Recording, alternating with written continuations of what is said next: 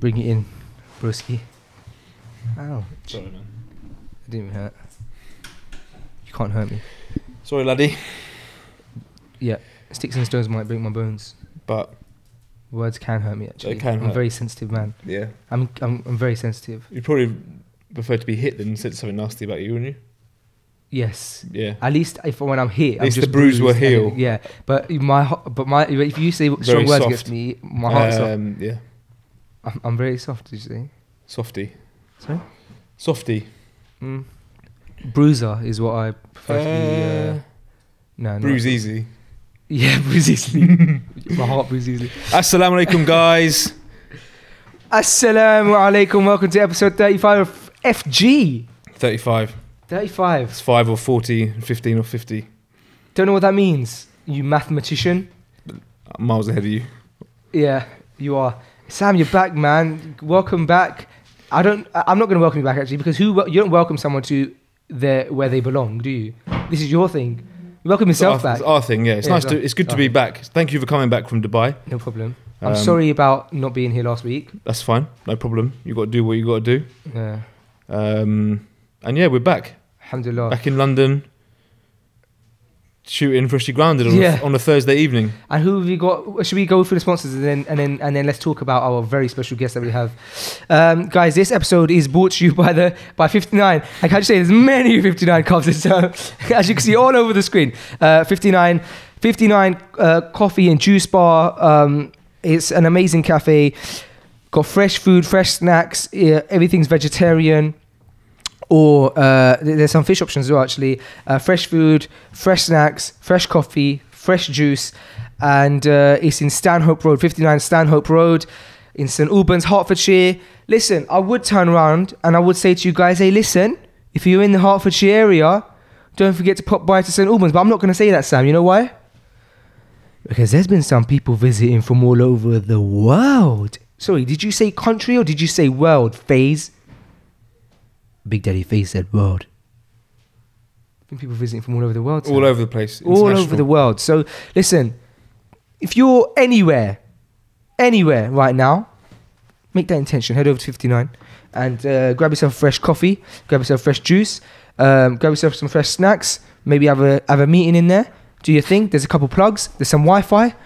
You know, there's some facilities. You could you could be there for a good amount of time and not actually need to uh, leave ever really until the Mm. shop closes. Yeah, And if you're obviously buying things as you go along, etc. yeah. Um, 59 coffee and juice bar 50 50 underscore n-i-n-e on instagram head over to 59 um, request head over, head over to 59 this month quote freshly grounded and what do you get yourself sam You're gonna get one pound of anything you buy. Nice i like that That's pretty good. 'cause you anything, could buy yeah. you could buy an espresso and pay peanuts for it. yeah that, I, I like that a lot Remember, you have to quote freshly grounded at the counter. that's very generous That's it. It is generous. yeah you get yourself a like you said an espresso you're basically paying pennies yeah. You literally are paying 100 pennies if you, you follow that. yeah It's great. i like that a lot Yeah, this is a pound off everything. Everything that we Everything's sell in pound off. there will be one pound less if you quote freshly grounded. you get a really good deal on a vanilla energy ball which is my favorite product from 59 It's true. You get a very good deal. That is a good deal, isn't it? Yeah, I think maybe I should double check that. Actually, Yeah, you should you should regret that, but it's, too, it's done. You've said Fine. it. You stick to your word. One pound off for this whole month of uh, November. And you know what? Last month, a lot of people got tote bags. Really, Yeah, a lot of people that. got tote bags. I love yeah. that. Alhamdulillah. So almost out. Almost finished tote bags. I was also very humbled when I was traveling. Uh, um, I, I, in the last two weeks, I've been to um, Liverpool and Dubai. the same two category, didn't we? say? But anyway, they're the two places I went to outside of home, and in both places, people love freshly grounded. Man, I got good. such good response, such good feedback. Like people are saying such amazing things about it, and it's so humbling. And it's a shame actually, Sam, because I don't show you these emails and stuff. But if I did, you'd be so humbled by it, man. Like some of the stuff is is insane. Um, also you by Zaha, izaha.com, Arabic style caps, hats, jumpers, t-shirts. Um, stick the code word freshly grounded on the website, izaha.com. You get yourself 25, uh, sorry, 20% off. Uh, anything. 25% I off. said 20% off. Okay. Um, anything off their website. Lastly, brought to you by Flavr, F-L-A-V-R, flavr.co. Head over to the website, it's up and running. Your one-stop shop for social content creation, uh, social media marketing. Head over there. And guys, Sam, who have we got on this show? Mr. Josh Lamonaca. We are joined by Mr. Josh Lamonaca. Josh has been on episode. Josh has been on podcast before in its early days, uh, almost a year ago now, maybe like seven months ago, eight months ago. What number was it he did? I think it was early on, man. Maybe like five or six or Really? something. Yeah, early, early, yeah? early, early. Wow. Or maybe, maybe I'm wrong, but I, it feels like that. Um, Josh is uh, Sam's business partner in Menspire. Um, Sam is one half of Menspire, and uh, He's my business partner. He's my friend. He's my brother. He's my mentor. He's just a general good guy. Yeah, and he's got a, a number of accolades. Uh, one of which is Educator of the Year 2017, um, internationally known. Um, uh, he's a teacher all over the world. Uh, and, and, and very very motivational as you'll find in this episode. We talk about a lot of things. We, see, we speak about you know um, in the current events we speak about tips of how to save money. Um, we speak about Josh uh, uh, Josh traveling and how he finds traveling. Um, the fact that he spends a lot of time on planes sometimes more time on a plane than he does on the on the ground in that country. Um, how he finds traveling, his goals, his short-term goals, his long-term goals, his mantra. Um, um, but there's a lot of there's a lot of motivation, a lot of um, enlightening in this episode. A lot of things that make you think. Deep conversations, in it, Sam? Yeah, it's deep. Really, I really enjoyed it, and it really a lot of the conversations really hit me hard, man.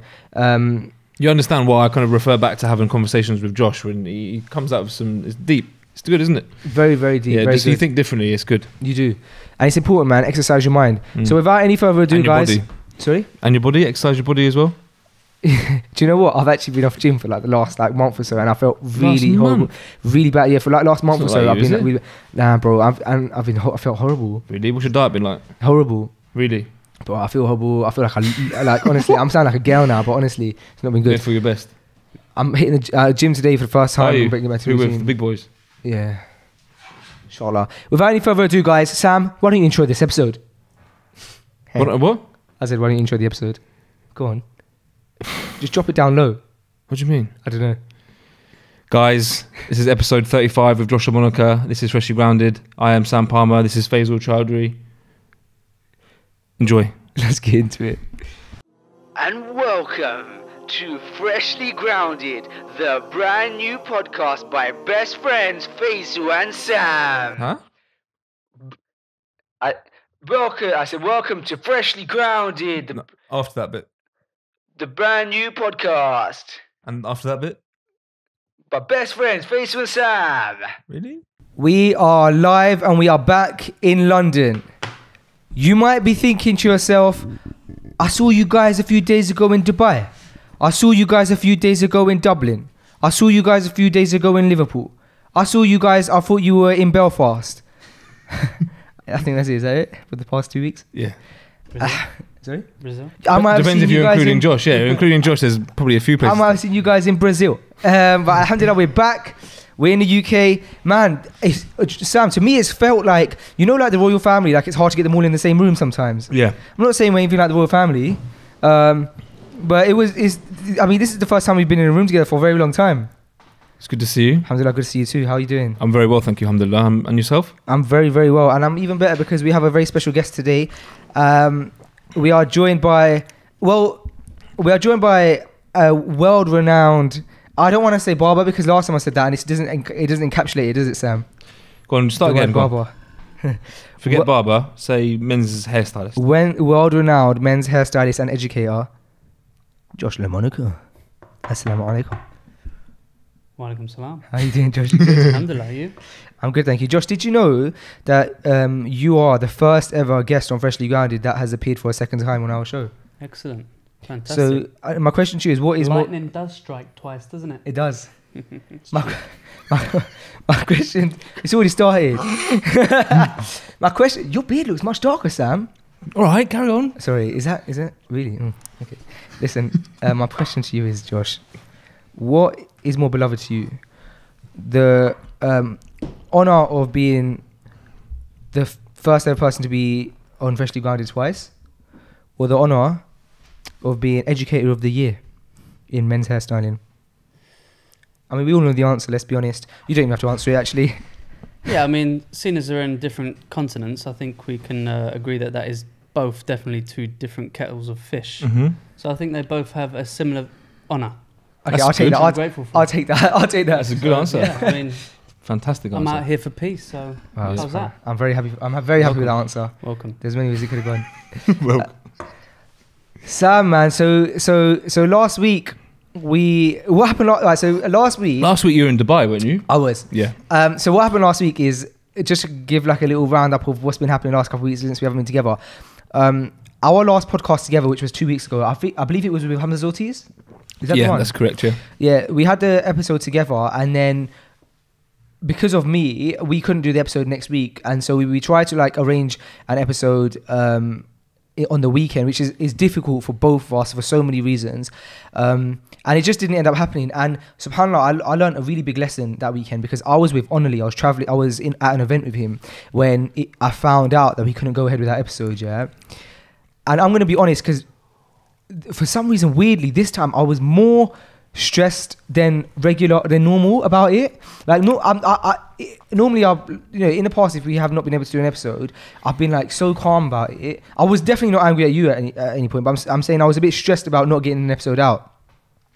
And then what had happened is I was like, you know what, it's fine. So I'm driving on Lee and I'm stressing, I'm stressing, and I'm ringing all of these people who um, who have said that if you know there comes a time where I need a like a temporary co-host, they would they would be up for it. So this one guy called Noor, this other guy called um, uh, Jibril, and last time they both couldn't make it, and they both kind of said that if it's on a different time, we'd 100% be up for it. So I was like, okay, alhamdulillah, it's a weekend, they'll definitely not be at work, etc., etc. Let me ring them. And bro, surprisingly, uh, both brothers couldn't make it for really, for really like extenuating circumstances. Like ne- generally, they could always make it on a weekend, and they really, really want to be on the podcast as well. And but they had genuine excuse, like not excuses, reasons why they couldn't make it. And I started getting, I was getting so stressed and so thinking of it that Onali was like, bro, look, relax, don't worry, like, etc., etc. Uh, I'm gonna have to switch out uh, this, yeah, because your mic stand's broken. Yeah, she's going. Right, let me switch it out. Let me switch it out. Okay, sorry about that, guys. We had some issues with Josh's mic. We're back. Um, so as I was saying, I, I was more stressed than usual for some reason. But I think it was just because I had we I think me and you Sam had decided that from now on, kind of no matter what, we'll still try and get an episode out, regardless of like what it takes, kind of thing. Do you know what I mean? Yeah. And so, with that in mind, I really wanted to get an episode out. I really wanted to get an episode out. And even the people who normally would have said they, they were up for it, they had um, their own things going on. And so, Onali speaking to me in the car on the way back from this event, and I'm like zoning off, like stressing. And I, to the point where I actually took the wrong exit on the motorway, ended up on the wrong motorway because I'm thinking about this instead. And I end up uh, like having to go for like eight miles or something, and then just to go do a U-turn and come back because I made the wrong exit. So anyway, um, that was just like a point to show how like kind of it was playing on my mind. Yeah. And now looking back at it, how Allah played it out, because that didn't go through, it led me to be like, you know what? Let me message this one brother. It's a very big stretch, let me just message one brother and see if we can get Tim Humble on the podcast. Subhanallah, he, he, straight away he was like, bro, it shouldn't be a problem. Next thing you know, he sent me Ustad Tim Humble's number, and uh, the podcast happened. And if it wasn't for all of those events in the, happening, that wouldn't it wouldn't have resulted to an amazing thing like having Ustad Tim Humble on a podcast Incredible, man. And that's just like that taught me such a big lesson about qadr and taught Yeah, me a yeah, lesson yeah. about like stressing about something that's not in your control. Yeah. And if I told myself the whole time there's a reason, there's a reason, there's a reason, which Onali was telling me, Mm. and if I like now looking in hindsight, there was such a g- good reason why even the people who would always be up for it even weren't able to attend, even on a weekend. You can plan. And Allah plans. He's the best of planners. He's the best of planners. That's very good. And it was an enjoyable podcast with him. It, was, it was lovely. It was amazing. Yeah. If you listen to the episode, you, you just hear me saying like, "Okay, cool, okay, okay, Yeah, yep." yeah. Subhanallah. A bit, and I was asking one or two questions here and there, but it was majority of him because I was just listening to him. I was in awe. Yeah, he's kind of every word he says is valuable as well, isn't it? He doesn't Mm. just yeah, very nice to listen to, man. Very Yeah, nice to listen to. If, it, if anybody's like listening to this episode and hasn't listened to that, it's the previous episode, episode thirty-four. It's definitely worth um, giving it a listen. Nice to be back in Dubai as well. It was nice to be back in Dubai, but what about you guys? So you guys hit up the old island today. Josh, I haven't congratulated you uh, in person, or have I? No, I haven't. I believe for your brand new store in Ireland. Congratulations. Thank you very much. May Allah put barakah in it. I I mean, mean, Uh, how does it feel, man? yeah, it feels fantastic. It feels, uh, you know, it's been an extremely long and patient wait for, for Glenn McGoldrick himself. Um, but I'm just glad to be, you know, a part of his dream, a part of his success, really. So, no, it's been really good. Have you cut hair there? Uh, I have, yeah, yeah. I would have been one of the first two as well, which is uh, an honour as well. Nice man. And so, do you guys plan to visit there regularly, or? what's yeah, definitely. It's it's it's not far, is it? Do you know what I mean? So it's it's only an hour's flight. So to be able to go there, it's just it's like getting on a bus ride now instead of being on the road. You're in the air. So that's, that's the And, relation. and Glenn's always come back here as well, right? Glenn's always back and forth as well. Yeah. Ever since we've opened the shop, it's been like every every two weeks we've seen Glenn anyway, Mm. and I think it will continue to be like that. We continue. We have like quite a tight relationship, and um, it- we've we've got things booked back and forth. So we'll probably be seeing Glenn for every two weeks over the next long long period of time, which isn't a bad thing. What's this sauce that I'm keep seeing every time you go to Dublin? It's a that good you, question. Everyone asks me about Yeah. that. The charcoal, the grey thing. Yeah, the grey. Yeah. Do you know what it is? Nah. I don't you know really know it what it is? is either. It's like a cheesy sauce. but it's grey. Yeah, I know. And this, when I when people DM me and say what's that Must sauce, have a little charcoal in it. and- it hasn't though. No. It's like a perfect. It's the same grey as the men's Like a, grey. maybe like a blue yeah, cheese. that's why. I know it looks like paint from on the shop. Charlie's Yeah, Snap yeah, but I know. Instagram, Yeah. when you first went out there, he Instagram storied Janelle eating that um, pizza f- with that sauce, and it and Looks there like paint. Yeah, it looked like the paint behind him, and I actually Yeah, but that I can assure paint. you, it's not. It's actually a really nice, like almost Must be like a blue garlicky- cheese, isn't it? Melted Yeah. blue cheese or something. Sounds great. I don't know, Josh, because the actual color is like a perfect grey. I don't know how they achieve it. And when I when I do answer someone on DM saying, "Oh, it's like a cheesy sauce," I say, "How has it got that that color?" And I say, "I do not know." Probably taken our Menspire flyers and And churned up in the cheese. yeah. It's possible. It's nice, very nice sauce. Have you tried it? No, I haven't. No. It's nice. Who was it, who went out this time? So um, myself, Mahi, and Midge went out on Tuesday morning, very early. Three of us. Um, I'm smiling because I remember that story of Mahi which one? of him sleeping in the car. Yeah, so I saw over the. I've been travelling for two days with Mahi, um, and I've seen him fall asleep and snore probably about six or seven times during that time. You're He- used to that though. You travel so much with him. Yeah, he, he if, he, if he's in a car or plane or anywhere he's he's still. If he's not watching a TV series on his phone, he'll fall asleep. And when he goes to sleep, the the, the, the sounds he make are loud. So yesterday we had a three hou- three and three hours and fifteen minute journey from Dublin to Belfast, Yeah. and he spent the most of that time trying not to fall asleep because he knows when he goes to sleep he snores so so loudly and it's it's crazy. So he kind of like had light light light snoring for like three mm. hours, but Did you share a hotel room with him? absolutely not. Never again, right? Never again. Impossible.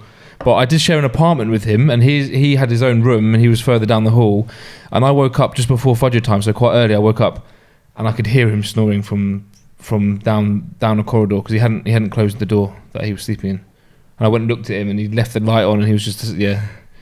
Was- he falls asleep The light was bro- the light was on, the door was open. He was in his clothes, and he was sleeping.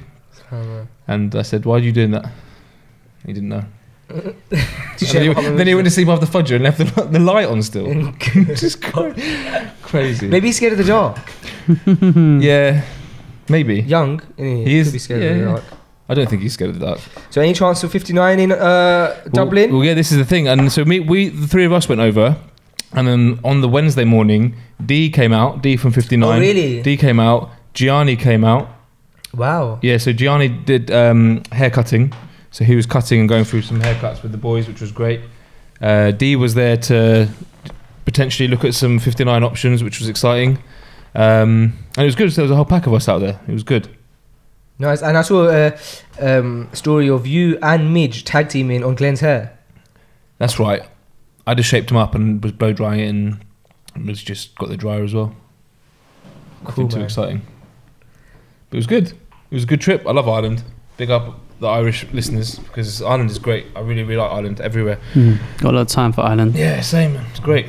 So, Faisal, do you know the connection to why Menspire is connected to Dublin and Ireland?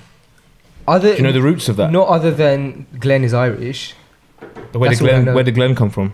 I don't know. So I'll let Josh tell you. But Sure. So um, I was doing a lot of haircuts in Ireland um, from Twitter days when I used to cut one some guy from TV, and um, all the Irish guys used to watch that television program. So I was cutting this man's hair, and and then all the Irish crowd started following me on Twitter, and one of them just popped up and asked me if I would come over to Ireland to cut him and a few of his friends' hair.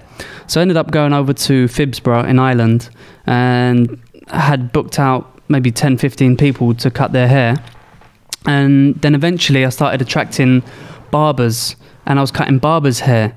And then eventually, after speaking with these guys, they said, you know, why don't you do a course here? And I, and I eventually did uh, an education course in Dublin. And this was about four and a half years ago now. And on that course, one of the members was the original guy who contacted me, Craig Murtagh, and his friend Glenn McGoldrick. So I'd had a relation with these two guys since the course, as we do, because our educational courses are very personal. And Craig was very talented, and I noticed this on the course. And Glenn had just started cutting hair um, at that time as well, because he was influenced by his friend Craig. So after some time, we opened up Menspire Salon, and Craig and Glenn were still following us from Twitter and you know loving what we do and loving the brand. And then eventually, as time went on, know Glenn was getting better and better, and then he decided that he wanted to attempt to come and work for us. In the meantime, me and Sam were sort of still looking for people to come and join us, and we decided that we want someone from out of the UK or possibly far from St Albans, our community, to come and work for us. And you know, I kind of suggested to Craig, why don't you come and work for us? You know, why don't you come over and, and, and start something here? And he wasn't too keen at the time, but then his mate Glenn was still very apparent in the DMs, um, messaging us to see if he could come over for an interview as we were accepting interviews at this point. And I wasn't particularly interested in Glenn at the time because I knew that Craig was much more talented and such. But what Glenn had was this amazing drive and commitment and vision to be aligned with us and be a part of us. So I said to Sam, you know, I've got this guy from Ireland who wants to come down and have a chat. And Sam kind of didn't necessarily take me seriously, and I didn't necessarily Mhm. take Glenn so much seriously until the day it came down when I kind of fixed the date with Glenn to come down. And you know, not thinking if he would show up or not, and then he eventually did and said, you know, I'm half an hour away, and this was a Sunday morning. And I said to I said to Sam, look, mate, this you know, remember that bloke that I was telling you about, the geezer from Ireland? And he goes, oh yeah. I said, yeah, well, he's actually on his way. He's going to be about 15 minutes. You reckon you can get down here? He was like, oh, what now? I said, well, Mhm. yeah. I mean, That's you know. exactly how Sam speaks as well, isn't it? Yeah, well, that's Oh, that's yeah? it. It was kind of like it was a bit half-hearted, and so I didn't really alarm Sam in, in the way that you know, like, oh, we've got this guy, he's coming tomorrow. You need to be here at da da da da. I just Mm. thought, oh, we'll just see what happens first. I'll go down, and if he comes in, then I'll then I'll call Sam. So eventually, came down, came down with his missus, and um, he came spoke to us. And I think after about ten or fifteen minutes or so speaking to him, we could see that this gentleman had had the commitment to come over and you know kind of sacrifice his, his life at home and his clientele that he had and his obviously his you know consistent wage that he had and be away from his family to come and work with us. And you know for us that was uh, quite an eye opener to see how committed someone could be to our brand that we just built from nothing Mm-hmm. You know so we eventually decided to to take him on um, given the fact that his long-term vision was to eventually go back to dublin and open up a menspire there And was No, this still about four years ago?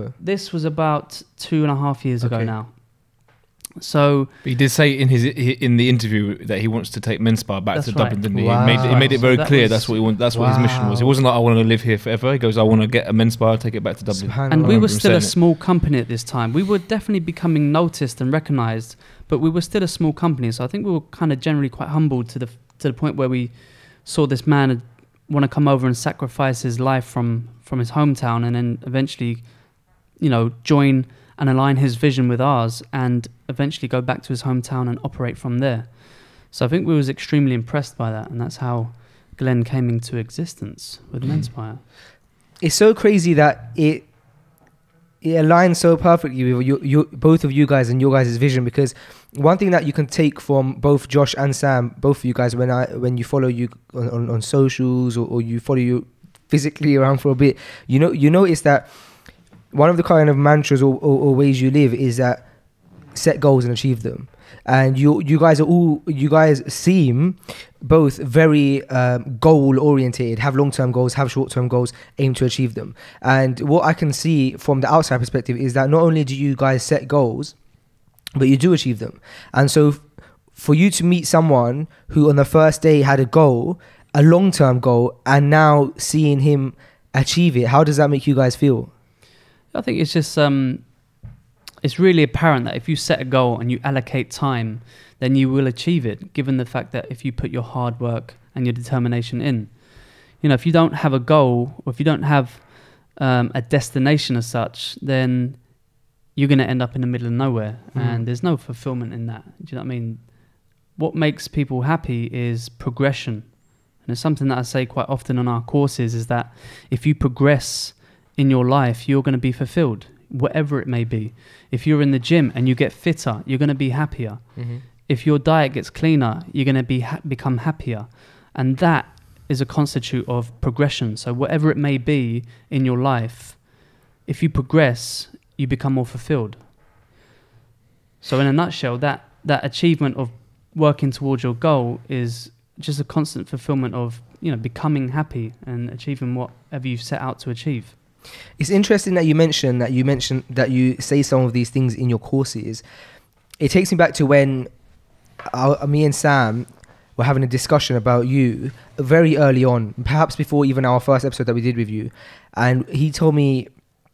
He said he, he was basically kind of describing you, and um, he said one thing you need to know about Josh is he knows kind of what he wants, like to, uh, uh, where he wants to go, and he work hard to achieve what he wants to where he wants to get to. And um, from what I from the little knowledge I know, it was uh, one of those things was to be able to travel the world and to educate. And we mentioned we spoke about that on the last podcast. We won't go into the that t- in too much detail. But what I do want to ask that we didn't touch upon is that from the snippets that I see of you educating and of you doing your courses, it almost comes across.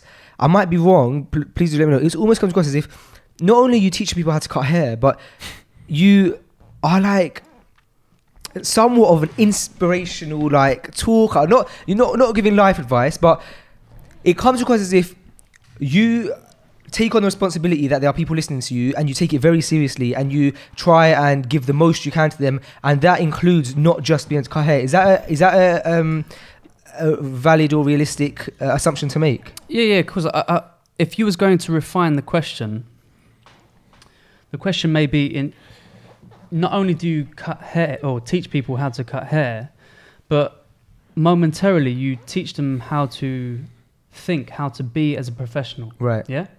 So, and the way that the concept in which we teach or deliver at the Menspire Academy is more so about enabling people to discover how to think and not what to think.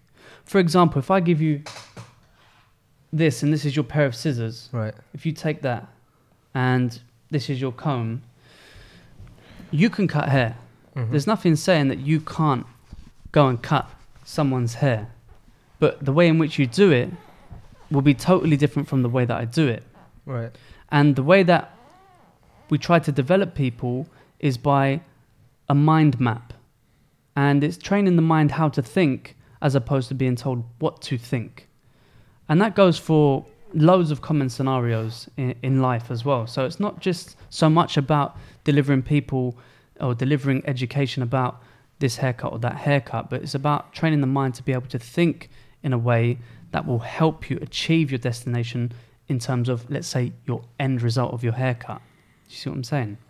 Yeah, so it seems that the, the goal with that, and it, it does resonate because it seems like this has been like a really common theme recently in like um, podcast episodes we've had or, or, or chats I've had with other people. In that, you know, the whole idea of uh, teach people how to fish, not uh, don't just give them fish, Don't right? Or to, to eat. right. And um, and that's what Hamza Zotti said last week, and it's what surprisingly me and Sam mentioned two weeks ago. So this is like the third episode in a row where this concept has arisen, and also me and Omar actually went to um, a few weeks ago. We went to seek some Islamic advice from from a teacher about something, and he uh, uh, one of the responses he gave to one of the questions is no, sorry, at, right at the end of like our consultation or discussion with him, he said, "What I'm going to do is I'm going to set up a course uh, that I want you guys to come to that is going to outline some of this kind of stuff.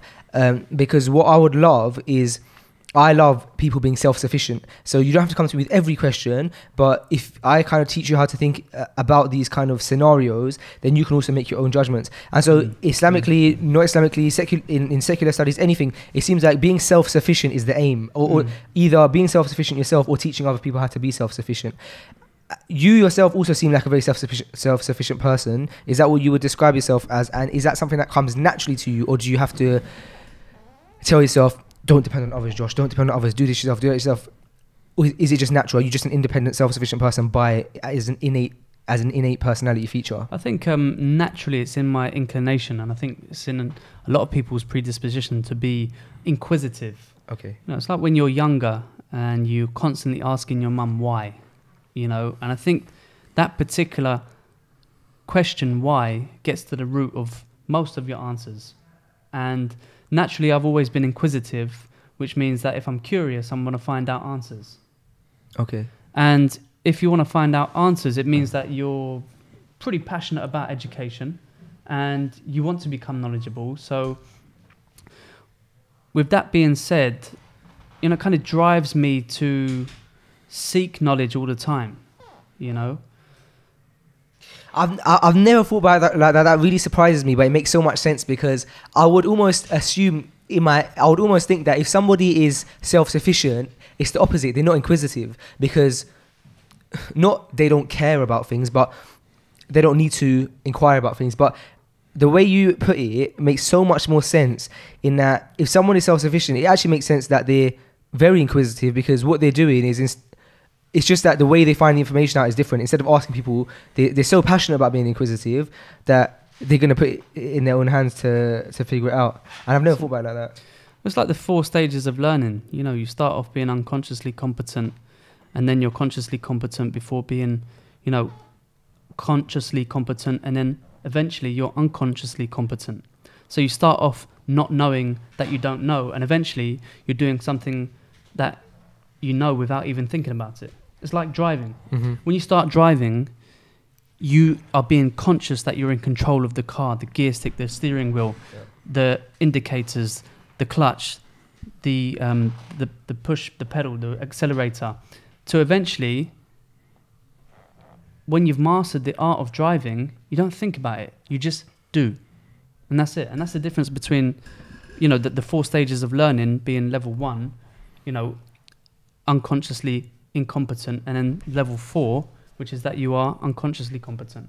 Mm-hmm. And that's the four stages of learning. Know So how- I mean? I, I know exactly what you mean. Um, so h- how does you guys then? So Sam and Josh being a partnership to an extent.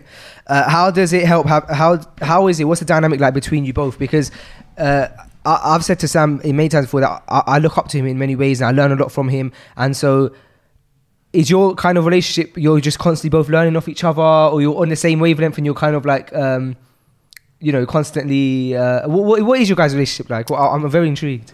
Sam. Josh can speak. This I, I always speak on this podcast. Okay. This is the time. Yeah, for Josh to alhamdulillah, we You have haven't even spoken yet, Sam. I know, I'm, this is Josh's time. Alhamdulillah, I would say we have a beautiful relationship. I, I'd say that we have a beautiful balance.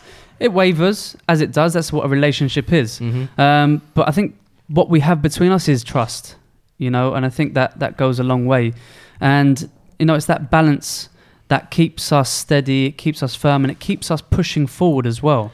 You know, I know the value that Sam brings to the table. He knows the value that I bring to the table, and I think that's what keeps us and and our team loyal and attracted to, and and and other people attracted to us, is the fact that we can offer this kind of mentorship you know that we've built over the years. And you know we're still learning ourselves. We, Mm. we we've di- we've had to discover a lot. We've had to go through some faults some fines and, and, and whatever else it is to get to where we are today. And we're still learning.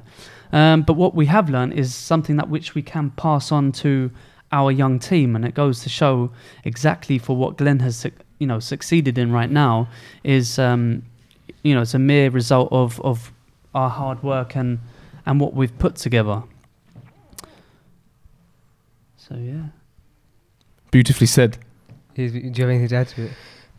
No, I agree. It's uh, it's definitely a balance, um, and the way we we run our businesses, it's the, you know Josh Josh has spent a long a lot of time um, all over the world doing doing incredible things in Brazil, in America, Australia, everywhere. Guys on stage, you see you see his social media, incredible, absolutely incredible. Now it's beautiful that he's across the other side of the world promoting Menspire, promoting our whole brand, our system, and then meanwhile I'm back in the UK where we have our where we have our bread and butter, our businesses which generate you know generate our, our pocket money such. So it's lovely that I have I don't have a desire to do what Josh does, and I'm sure vice versa. So it's just alhamdulillah naturally our, our what we want to achieve is it's it's it's all played out perfectly with the business we've got and where we want to put the business. So I don't want to spend months away um, doing what Josh does, and Josh probably doesn't want to spend months in St Albans being in the salon like like what I do. So it's a very it's it's worked out perfectly, and you know inshallah over the next few years it's going to be more of the same thing, just both fulfilling roles um, that we need to fulfill to to push forward with with our business. Um, and you know, without one each, each other, we wouldn't be where we are today. So it's it's it's a beautiful balance, and it's, it's it happened with no conversation, no plan. It's just it's organic, and our whole business and everything's been very organic. We we we do do the means, we do the hard work, um, but considering it's been four years since we actually set up Menspire, Alhamdulillah, it's it's gotten so much bigger than than I, I thought it would. In, in the, exceeded our expectations. Absolutely. We, we I think we we humbly ex- expected big things to come from what, what what our initial plan was? Mm.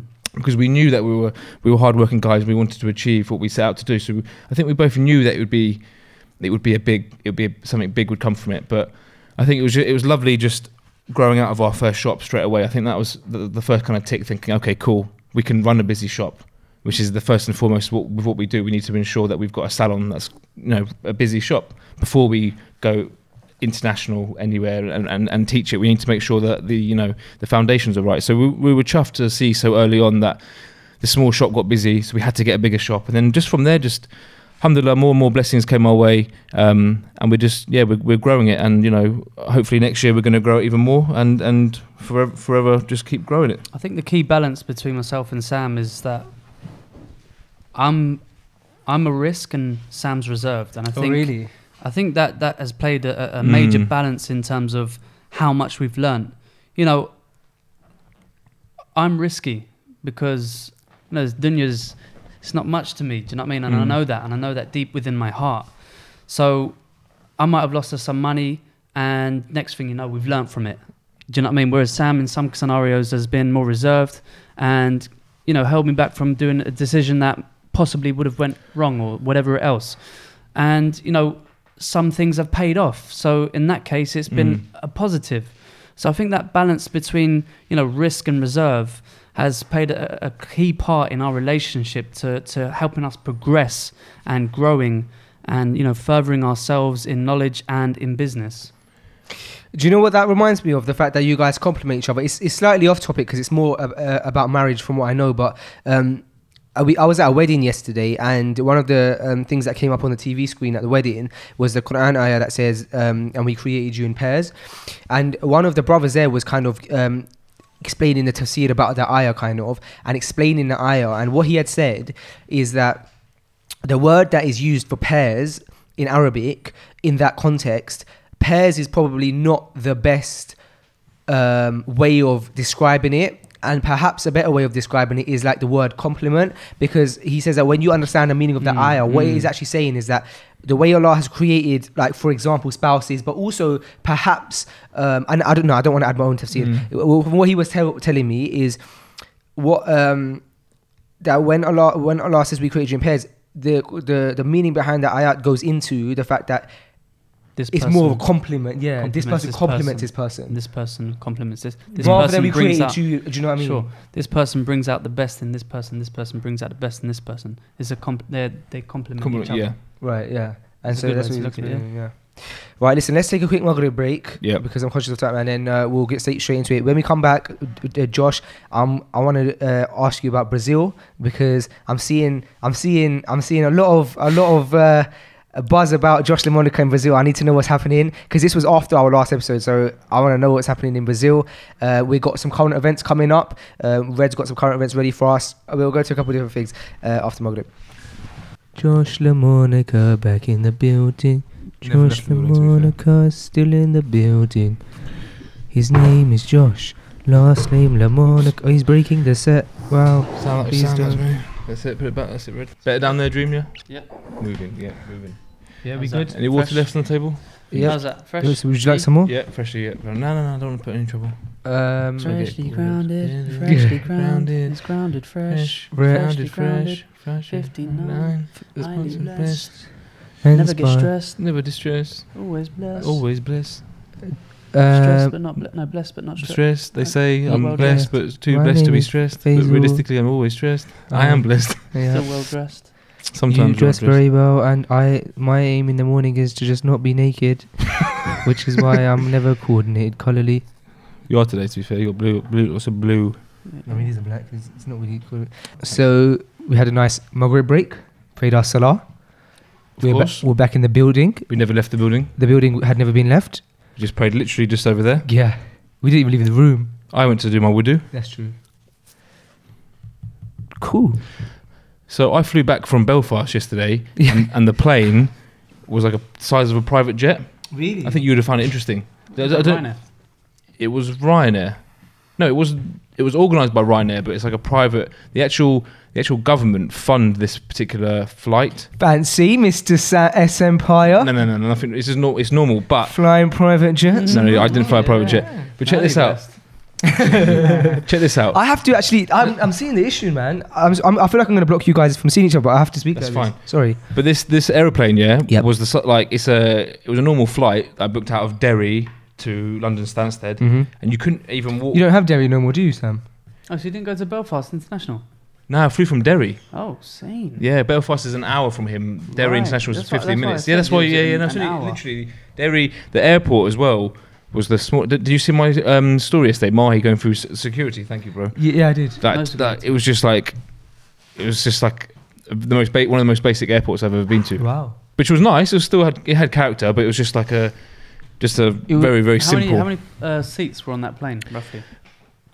no more than thirty. Wow. Yeah, so like a It was small, two, but- two in a row, or how So was this is this is why it was so nice. My seat was just it was just one to the side, and then the, then then there was a strip. There's a walkway in the middle. So my seat was there, walkway in the middle, and then there was two. okay. So there was there, there was these single seats, like which actually made it a lot more comfortable. Because I think one of the problems of an uncomfortable flight is when you're stuck in that little area with people around you. Someone else is on your yeah, resting by the elbow there, and you've got next man over there. Like it's quite So it was two space one. yeah. But being that one is like you had you. It was Private. great. It was nice.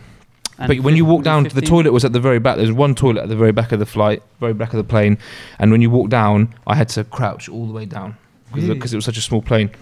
And they had to move people around before we took off because So was it like maybe ten seats back in total?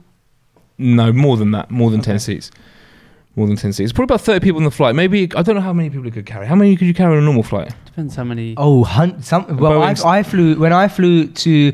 Uh, I think uh, Dubai recently. It was like one of those planes that has uh, two st- floor, Two stories, yeah. Yeah, two stories, and um, it- but the oh, the plane was like an old. It was like an older plane, Yeah. and so the the the TVs were like square Mhm. and like quite bad quality and stuff. But one thing that really did make, interest me on the way back is that uh, me and my wife had like the exact same like seats as me and you had on the way back. We didn't fly with the same airline, but in the sense that we were sat that exact like same bit, Yeah. and we had three At the back seats. of the wing, it's at the back, wasn't it? No, it was at- like more towards the front on the right. Do you remember? yeah, yeah, I do it on the way back. Yeah, Yeah, on the way back, Yeah. and we had three seats um, to ourselves. That's like, right, yeah, that's right. And that's exactly what me and my missus had, and so we could like really comfortably Yeah. sleep and knock What out. about on the way out there? and oh, the way out there was really difficult flight, man. Was it? Yeah. So Josh travels all the time. How do you how do you deal with flying and traveling? Because it's quite a strenuous. It's, it's well, you tell me how do you do with Yeah, flying yeah, and yeah. traveling? Um, to be honest with you, I'm usually asleep before the plane takes off. Is that something you plan? So do you make sure that you go to the airport a little bit tired so you know you're going to sleep, or you just naturally you fall asleep on a flight? Uh, anyway? naturally, I've just been able to sleep. Put your head back and yeah, just net back and gone. that's it, straight out. Yeah. And then the worst scenario is when you wake up and you haven't moved. Um, that's that's that's the worst scenario that still can on happen. the, still So the runway. I kind of I kind of wait until we're you've had your snooze. I kind of wait until we're on the runway and let that let that kind of elevation backwards. yeah, yeah, yeah. But your time to drop off. Fall as, that's it. Yeah, So- I know them ones. Do you know what I mean? Mm. It's Or nice, maybe- isn't it? or When you maybe just before. But um, yeah, certainly if you don't move and you wake up and you, you feel refreshed and then you've got 12 hours to go, that that is not a nice. do you, are you scenario. are you intimidated by a long flight and a long bit Nah, of Not traveling? anymore, man. Not after I've been to Australia, and more so how far do you go for the time that you're there is more the kind of mental training that you do preparing for the flight. Do you know what I mean? So, for example, I went to Brazil, um, you know, two and a half weeks ago, and I went for a 12 hour flight for, and I was there for no longer than four days. And when you I- were there for the four days, weren't you f- and I traveling inside that? I was, I was traveling in inland flights as well. So, um, typical scenario was that Friday night I left from Heathrow, got to Brazil Saturday morning, um, chilled out, ate. Next day was working. Straight after work, took an inland flight, three hours to the next location. Landed there Sunday morning, two in the morning. Did the work during the day eight in the evening, woke up. Next day was Tuesday. Um, no, no, wait, wait. So I left on, on Friday night and got there Saturday day, chilled out. Sunday worked, straight after work, um, went to the next location. So that's Monday. Monday worked, eight next morning, swim upstairs on the way to the airport, inland flight, waited at the airport four hours, another 11 hour flight back to London. So it was like about 30 hours of flying, and I don't even think I was on the ground for that long, to be honest with you. Did you feel it?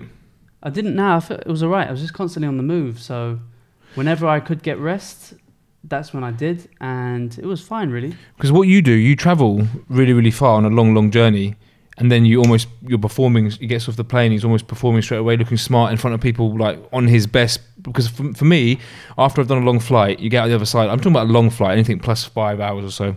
You get off the other side, you feel, you know, you've travelled, don't you? You feel kind of. For me, I feel a, a bit delicate and a bit rough. It's almost like Josh tries to travel, and then boom, straight away he's wearing a Mm. fresh white shirt and he's in front of hundreds of people. I think it's With a the, microphone. the adrenaline, you know what I mean? Have you ever showered at the airport? Nah, but that would be nice. That would be nice. Showered. They do Yeah. that, don't they? Airports have showers and stuff. I think you have to be maybe in a different Yeah. lounge. They got That, that would be really refreshing. I've not seen that as a as a as an obvious option to have So I a see take a that in shower. Dubai. Really? See that in the Dubai airport, yeah. Hmm. But not always. Don't see it. I think all airports do have it, but I think it's for. I think it's in like those lounges where, like those executive lounges. We and can't stuff. we can't afford that kind of level like you. Oh, I've never, I've never, I've never done it. I've never done that. So I've just seen it on video. It's like one of those things that you see and say, "Oh, one day." One day. Yeah. Not yet though. So it's, It's interesting one the lounges and the, the the ticket prices and stuff of, of flights. Like we I think I've probably had the conversation with you before. I've had it with many people about the actual the, the difference in the, the costing of a a normal seat on a plane. You have to fly business class, don't you, Sam? Absolutely not. Then to business class and first class, the start the I'll tell you price what, is just insane, insane. insane. A twelve bags extra, twenty Yeah. bags extra just for It's like ten times the price at least. a, crazy. I actually uh, treated myself to a massage just before the flight home in Brazil. I thought, you know, I deserved it Yeah. after, you know, four days turnaround. Sports massage or normal massage? I got, I got a, I got a sports massage, and he said, you know, do you want the uh, the pressure soft, medium, or strong? And I I thought, my muscles are aching, you know, I'll go for strong, thinking that's going to be nice. I'll be relaxed on the plane, um, to the point where it was over the over the t-shirt, and it was strong. Like, Yeah. it was it was sore. I was sore on your back, is it, Yeah, on the back. I was sore. I Did he put- like do the knots thing? Like yeah, yeah, yeah. All over the t-shirt though, so I wasn't really expecting that. So every, it was really sore. So he did it over the t-shirt. over the t-shirt, yeah. So I had an 11-hour journey, and I couldn't put my back on the seat. I had to kind of put my shoulder on the Oh, seat. That's a yeah, I was that's not thinking. ideal, is it? I thought I was trying to be smart, thinking, "Oh, I'll get a massage. I've got Yeah. plenty of time. I've been at the airport." Yeah, but you didn't go four for like a nice relaxing massage. you went for I- like a I went sports. for the wrong option. What's the benefit of a massage that doesn't make you like relax and stuff? Is it long term? Well, yeah, if you have aches and pains in that, you you, you want to kind of get those knots out. And, and We've spoken about massages before, haven't we? Do you remember we spoke about massages? No, I don't it was, remember. it's when we filmed in '59, and we were talking about because the only one time I had a massage Oh, yeah, was yeah, in yeah. India, and I told you how uh, because it was. Do you know what? It was Josh who actually taught me to do it because he. He- I, oh, I remember yeah. I also mentioned that Josh always gets massages. Yeah, yeah, and yeah. goes, And, I, and remember how me and you like said that we hate like being even being touched. Yeah, and then I said, "Oh, Josh gets massages." You said, "Yeah, but Josh is a good guy." yeah, It's yeah, true. Said that, But he, he he he knows what's good for him. He gets like he obviously trains Such in that, so he gets a sports massage. But you don't get sports massage, do you? I hate being touched. I can't stand it. Like, if I can see the hand come in and I can like prepare for mentally, it's not so bad. And especially if it's like a shoulder thing or something Yeah. like that. But like, yeah, like I- I'm comfortable now. Yeah. I, I know you're like, do you know what I mean? Like, we're, we're, we're, three guys very close together right now. Uh, I know that it's very possible that you could tap me on the shoulder and uh, different. an elbow. Yeah, but generally, What about when you got your hijama though? I, I but, but that, I was prepared for it to an extent. And I've had hijama done numerous times before, so I know what it's like. And weirdly, with my back, it's not so bad. With my back, I don't mind like if someone So maybe because I'm used to it, maybe because like often you you know you get tapped on the back, you get hugged, you get tapped. On, so maybe like my body, I'm Where used to- would you Where would you not like to be massaged? like anywhere else. Do you know what I mean? Like eh, eh, I don't know. I just not even massage. Like I don't even like someone like touching me. Like you know, like hate like the whole Yeah, I'm side. very bit. sensitive I hate as well, that. yeah, Like everywhere. My, yeah, my I'm missus hates that about me. I'm first hand experience that he hates being touched. yeah. Oh, Red does it all the time. It re- and like he sees my like like fiery side, and I'm like, What's your "Good." background then? Is it Pakistan? Pakistan. Don't they hold hands? back then? They do, yeah. But I'm. I, I, I, Yeah, last time I went to Pakistan, I was six, man. Like in, in Bangladesh Really? as well. Like, That's- yeah, Mm. Is that not like- India as well. Remember in India we saw a lot of man. Josh, Yeah, one thing you need to know about me. Josh, is um, Here we go. I'm a bit of a lad. All right. Yeah, I'm a bit of a lad. So- I'm, uh, Self-claimed lad. Uh, I'm a bit of a. They say in my language they would call me a agora, and uh, I'm just a British lad. You know, apples and pears, Ruby Murray, that kind of stuff. You know, I'm a British lad. I had a, actually had a full English two days ago uh, in Liverpool. It was a halal full English, but you know, I had the lot. You know, the turkey bacon, the sausages, uh, the the two eggs. I was, I was in a builder's calf. Typical. But you fit right in. Oh, like a like a I I, I, I fit like a, a sock. Is that the right term? Um, glove. It's glove. yeah. So holding hands with the man, um, Josh. No, nothing against it, but not for me. Okay. You didn't. You didn't follow that. that not as one up, no? lads. Nah, nah. I didn't. I didn't follow much, but you know, is what it is. I'm not against Pakistanis. I love Pakistan. Love my culture. Love my dad. Just thought I'd add that in. Just thought I'd add that in. Very good. And your Yeah, mum? Bit of a lad. Yeah, love my mum. Of course, I love my mum, man. Let's go back to Josh flying. And Josh, you touched on Brazil. Mm. Now, recently, your boy came across a video. Um, let me just set the setting for you. So, uh, massive stage, sea of people, and uh, the host says, you know, gives a bit of an introduction, and then says, "Ladies and gentlemen, Josh Lamonaca." And what you see, Josh, um, if you just allow me to kind of continue with this setting, is in slow motion, you see this sea of people waving their hands in the air, screaming, Josh, oh my gosh. And out from the side of the stage runs out what could only be described as a, you know, Michael, Jacks- Michael Jackson esque uh, celebrity uh, for which, you know, the fans go crazy. And uh, it was none, none other than our brother here, Josh Lamonaca himself. Uh, you know, and you were loving it. And I saw a side Josh recording. I saw a side of Josh. I was like, this guy's sick. Like you really Yeah. seemed in your element. And when I saw you doing that, I was like, this is what Josh does. Because Yeah, you, yeah. when you see someone do something that and you, and they're naturally good at it, you're like, oh, that's what he loves. Because you can see it's just them. Like completely. You, You, didn't come out you with, didn't the, with the water spray as yeah, well. yeah. Well, what's that about? What? Y- y- the Brazil love you. Yeah, man. Yeah, do you know what? That that was a surreal experience, something that I have not experienced before, and I think the reaction was the reaction was real. Like I didn't know that that was going to happen, so it certainly, I was certainly positively aroused for sure. Um, I went to Brazil. I went on my own, and at the time. Um, when I arrived to Brazil for the first time, this was back in July, um, it didn't look like what I thought Brazil should have looked like. You know, I was in a hotel on the motorway and it just wasn't the Brazil that I'd seen on TV or in the pictures. Do you know what I mean? So I was there sort of thinking, you know, okay, so I'm, I'm here now. I'm kind of, I'm kind of feel like I'm on the job now, which I've never kind of ever felt before. Um, so my mind started to tick. I started What do you mean think- by that? You you feel like you're just- working opposed to yeah, yeah. I thought I was. I, I definitely thought that this was this was a job. You know what I mean? and you don't It's usually feel that. Nah, it's definitely ne- it's never a job.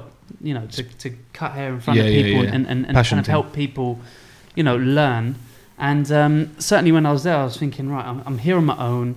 You know, um, the organisers are busy, so I'm I'm kind of just here on my own at the moment. You know, I've got a couple of people that I know coming from America following day and whatnot, but um, it certainly was just like, right, I just got just got to kind of do this. You know what I mean? um, which is it's something I've never really felt before. So I was kind of just in a reflection period at that point. And then a couple of you know barbers started to arrive. They stayed in the same hotel, and you know, a few pictures and that. I was thinking, okay, cool, yeah. Now I'm, I'm familiar with this now, you know. Mm. And um, so we got to check out the venue the uh, the night before, and by this time I'd met a couple of guys um, that I've met before in America, and um, started to you know get a little bit excited now. And I see the venue; it looked like uh, this big theatre, and I was just like, yeah, this is cool, this is cool, this is great. Um, it's not like what I've seen in Australia though, so I was thinking, okay, I'm just I'm still on the job. I'm just going to do this. I'm going to have a good time here. I'm going to get to know my these guys from America a little bit better. I'm going to have a good time. And so the day of the event came, and I moved my hot- my hotel by this point because I wasn't, you know, wasn't best pleased about being in that particular hotel. Not being a diva, just I wanted to be know- where the Americans exactly, were staying. yeah. I, ju- I was a bit lonely to be honest. Of I'm not going to lie, and uh, that's that's not the way that I wanted to be feeling when I was about to deliver to suspectedly 1,600 people, in which there was. Um, so the day of the exhibition came along, day one, and the day that I was presenting was day two. But however, we had to be there on day one to, you know, uh, judge a particular competition, and they were calling us out one by one um, to be presented to the crowd, you know, and, and, and say hello and whatnot. So they presented Andy, and then following, I came up, and I'd already heard the sound of these people, of 1,600 people, um, before you know I was presented on that stage, and, and, and we was all just looking at each other like this is just wild, like this is we're just cutting hair, and the people. were- It was like a football match. That sound, a football match. It was just absolutely intense and, and solid in your ear That's the first time you've experienced that, yeah. ever experienced that for, for cutting hair. Yeah. You know, you expect that at a football game. Yeah, yeah, there's yeah, 70 yeah, yeah. thousand people, whatever. Um, but yeah, then then Andy went up, and I was thinking, blimey, that was a fantastic reception. Like that was in- incredible. Um, and so it was my turn, and the gentleman called me up, and he, he put a spin on the name Josh Lamonaca, Mhm. and you should have heard the sound of the people. Like it was just like usually, you know, when you present it on the stage, you just sort of, you know, how you doing? Yeah, good. Nice to see you.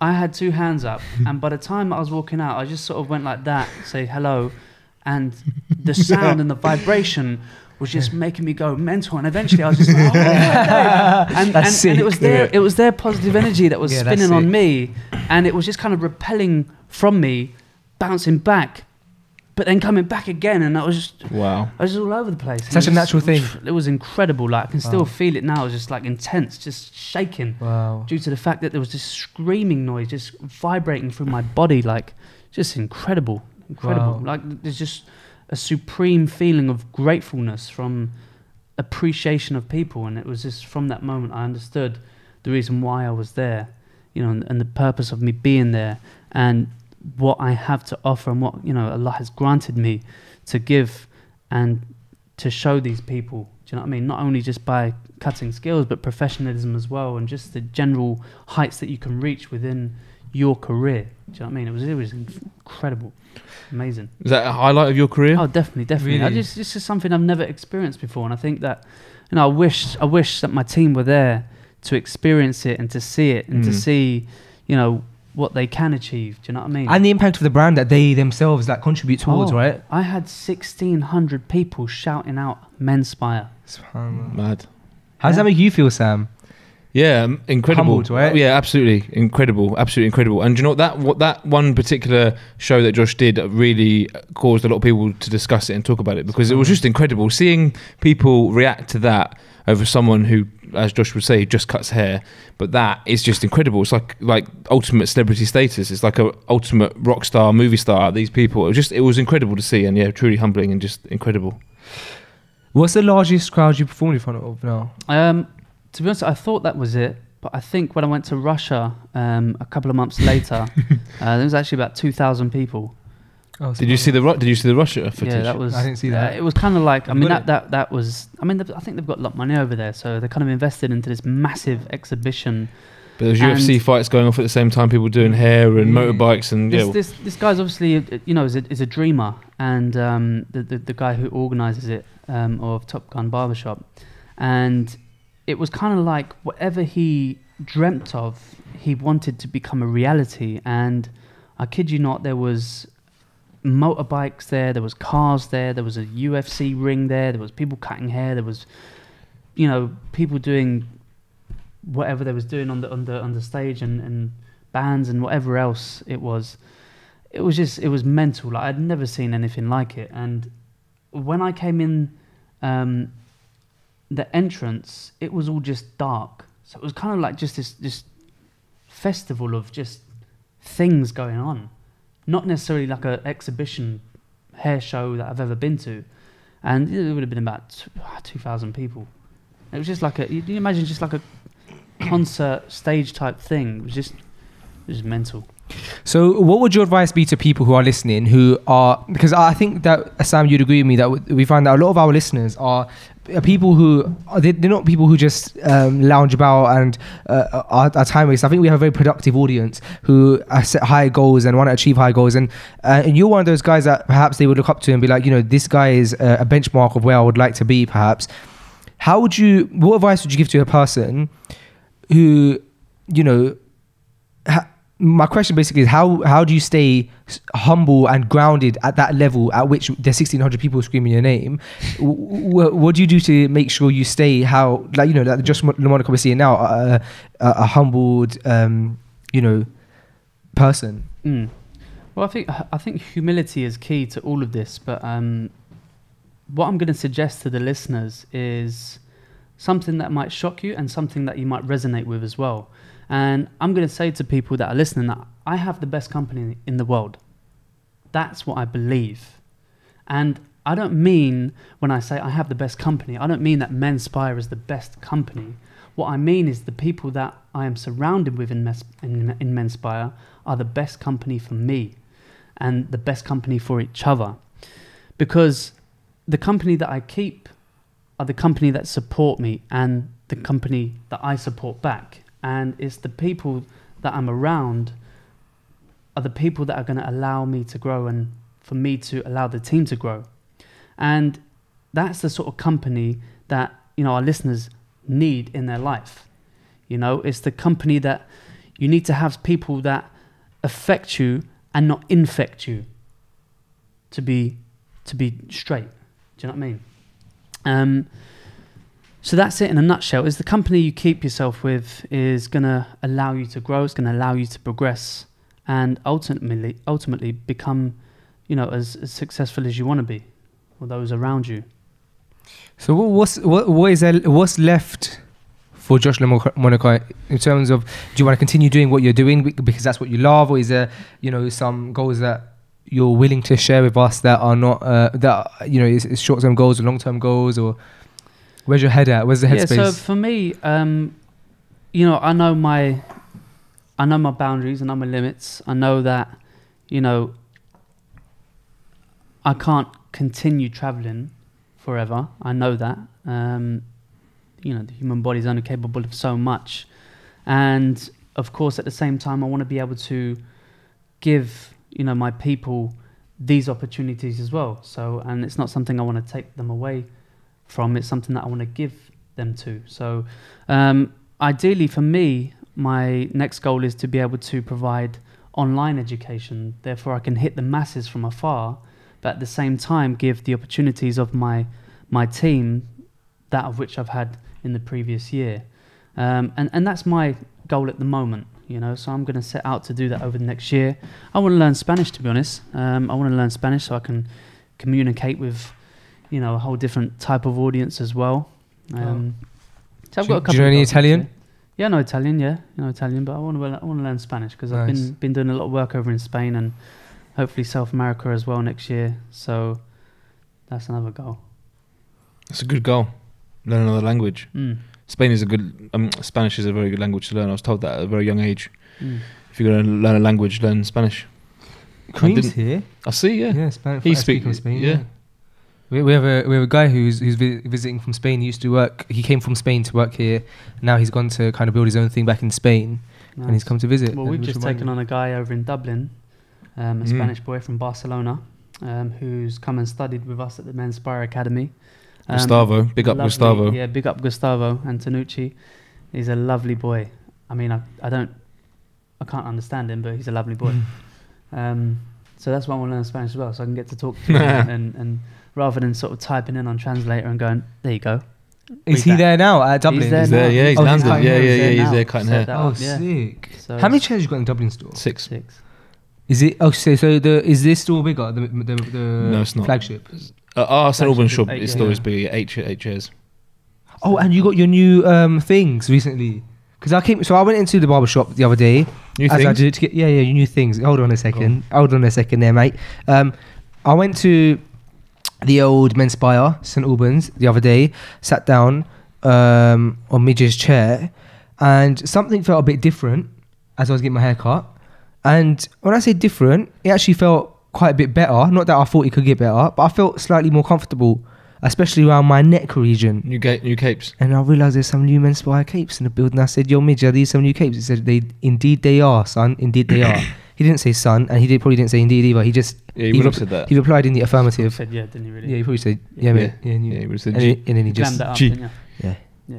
He, he just moved on with the conversation then. But Yeah, it, so it was. we've got a few bits of new equipment. Um, the reason being is because in a salon full of men, Mm. things go missing, you know, and people get blamed for things that maybe it's not their fault and whatnot. So we decided to actually label our names on our neck brushes, our water sprays, and our gowns. And it's actually been fantastic because Really? the reality is, if someone has your neck brush, you are going to find out. Your name's on and it that's that's you know that's going to be How is the name on there? Like engra- engraved? properly. Yeah. Oh, really? It's, Oh, it's sick. labeled up and it's uh, it's the last name of everyone. Um, it's really Sick. interesting because when I was in Brazil, So yours says Paya. No, it doesn't. Oh. It says Palmer because it's my surname. Oh, Oh, okay. is? I was just thinking SM Paya. That's obviously just an Instagram name. Oh, okay. Sampaya, Don't start with him because he doesn't like it. No problem. Sampaya. It's Empire. So it's my initials SMP. Have you ever got someone come up to you and say, "Yo, what's happening in Spire? Spire." You know they have many times. Yeah. Sampaya. Yeah. It's Sampaya. Aspire. It's Empire. Paya. It's just Sam, really. Sam Abdul Samad. I said it's Palmer did it. Yeah. Anyway, so I was in, I was in when I was in Brazil. Um, I'd said to the guys, there's about 150 there in Sao Paulo, and I, I said to him, you know, I really wanted to be a footballer when I'd grown up, you know, because I wanted to have my name on the back of my shirt, you know, and, and, and that was a you know a goal for me, you know. But as as got older and, and whatnot, my passion started to slowly lead into to cutting hair, and uh, eventually, you know, the, the best thing about cutting hair is that you you know you get to have your name on the back of your neck brush and your water spray, and you know they were loving it you know, because now that's a you're probably going to find in Brazil Certain everyone's trends. got their name, you know, on their Oh, water spray. wow. so it's, it's incredible. Did you guys recently get your um? Did you guys get some new clippers engraved at Barbacon? That's correct. Yeah, it wasn't Barbican. It was, was that? nice that you're bringing up these uh, names. You've been listening over the years. I'm just a bit of a la- I'm just a bit of a barber. I mean, I'm, I'm involved. Barbican is in NYC. Listen, I'm just involved in the barber scene somewhat. You're Yeah. Far from. And Uh, no, no, don't, wait. Don't, don't tell me. I'll tell you what what what, what expert it was. go on, think about it. It Calm down. was. It had the word barber in it. No. Oh, okay, it was. Um, Shall I help you? uh, Sa- t- tell me the name. It begins with- Salon. Express. In- Salon International. Salon International. yes. Oh, I thought it was Bar- Barbacon. Anyway, Barbican was New York. That's, that was just Did you go to. Barbican there? Yes, we did. Yeah. That's, how- That's where Josh was awarded Educator of the Year. 2017. Good knowledge. which is the year now, which means that as of now, literally the educator of the world. yeah, you- yeah. You're the best up to date. As far as statistics show, up to date, Josh Mulcair, best educator. Anyway, did you guys get your? So did you get one as well? Yeah, he did, The, yeah. Um, Yeah, did, clip yeah, yeah. Salon International. Yeah. Look nice, and Glenn got one. I was, I've been watching Yeah. you guys' stories, don't worry. They all sold out those clippers actually. Oh really? It was a big big weekend for those clippers. They s- they sold out all the units. were they were they your clippers that you took and got? no, um, no, no. oh, so you they bought were them they were released that weekend. Uh, there was a brand new cordless clipper, um, and the first thirty people to buy them got your name Oh, engraved. sick. Well, I'm, I imagine barber equipment must be expensive. I have no idea, but it must be expensive, innit? There's so many different then and those particular clippers are now being retailed about 175 quid. Yeah, really. Yeah, The senior, yeah. for the senior cordless. Yeah, because okay, so you're not a fan, are you? Should have took my magic and got that engla- engraved. Yeah, yeah, yeah. It's good. You like you like a. Each warrior desires a different weapon. Yep. Do you know what I mean? I'm, I'm gonna say no. I- Each I- warrior desires a different weapon. Uh, he prefers another set of clippers. okay. Oh, so it's not like. Uh, sorry, Mike. Mike. I'm gonna screw that up a bit. You can tighten this. Just how you will. Essentially, it's picking up like only like what's in front of me. So just That's ensure. So there's not like a like w- like one thing that's known as like the best clipper. Like every pe- everyone has like different preferences. It's a preference, isn't oh it? really? Yeah, it's definitely the most That's popular ones that generally people hover around. But um, it's a preference thing, yeah.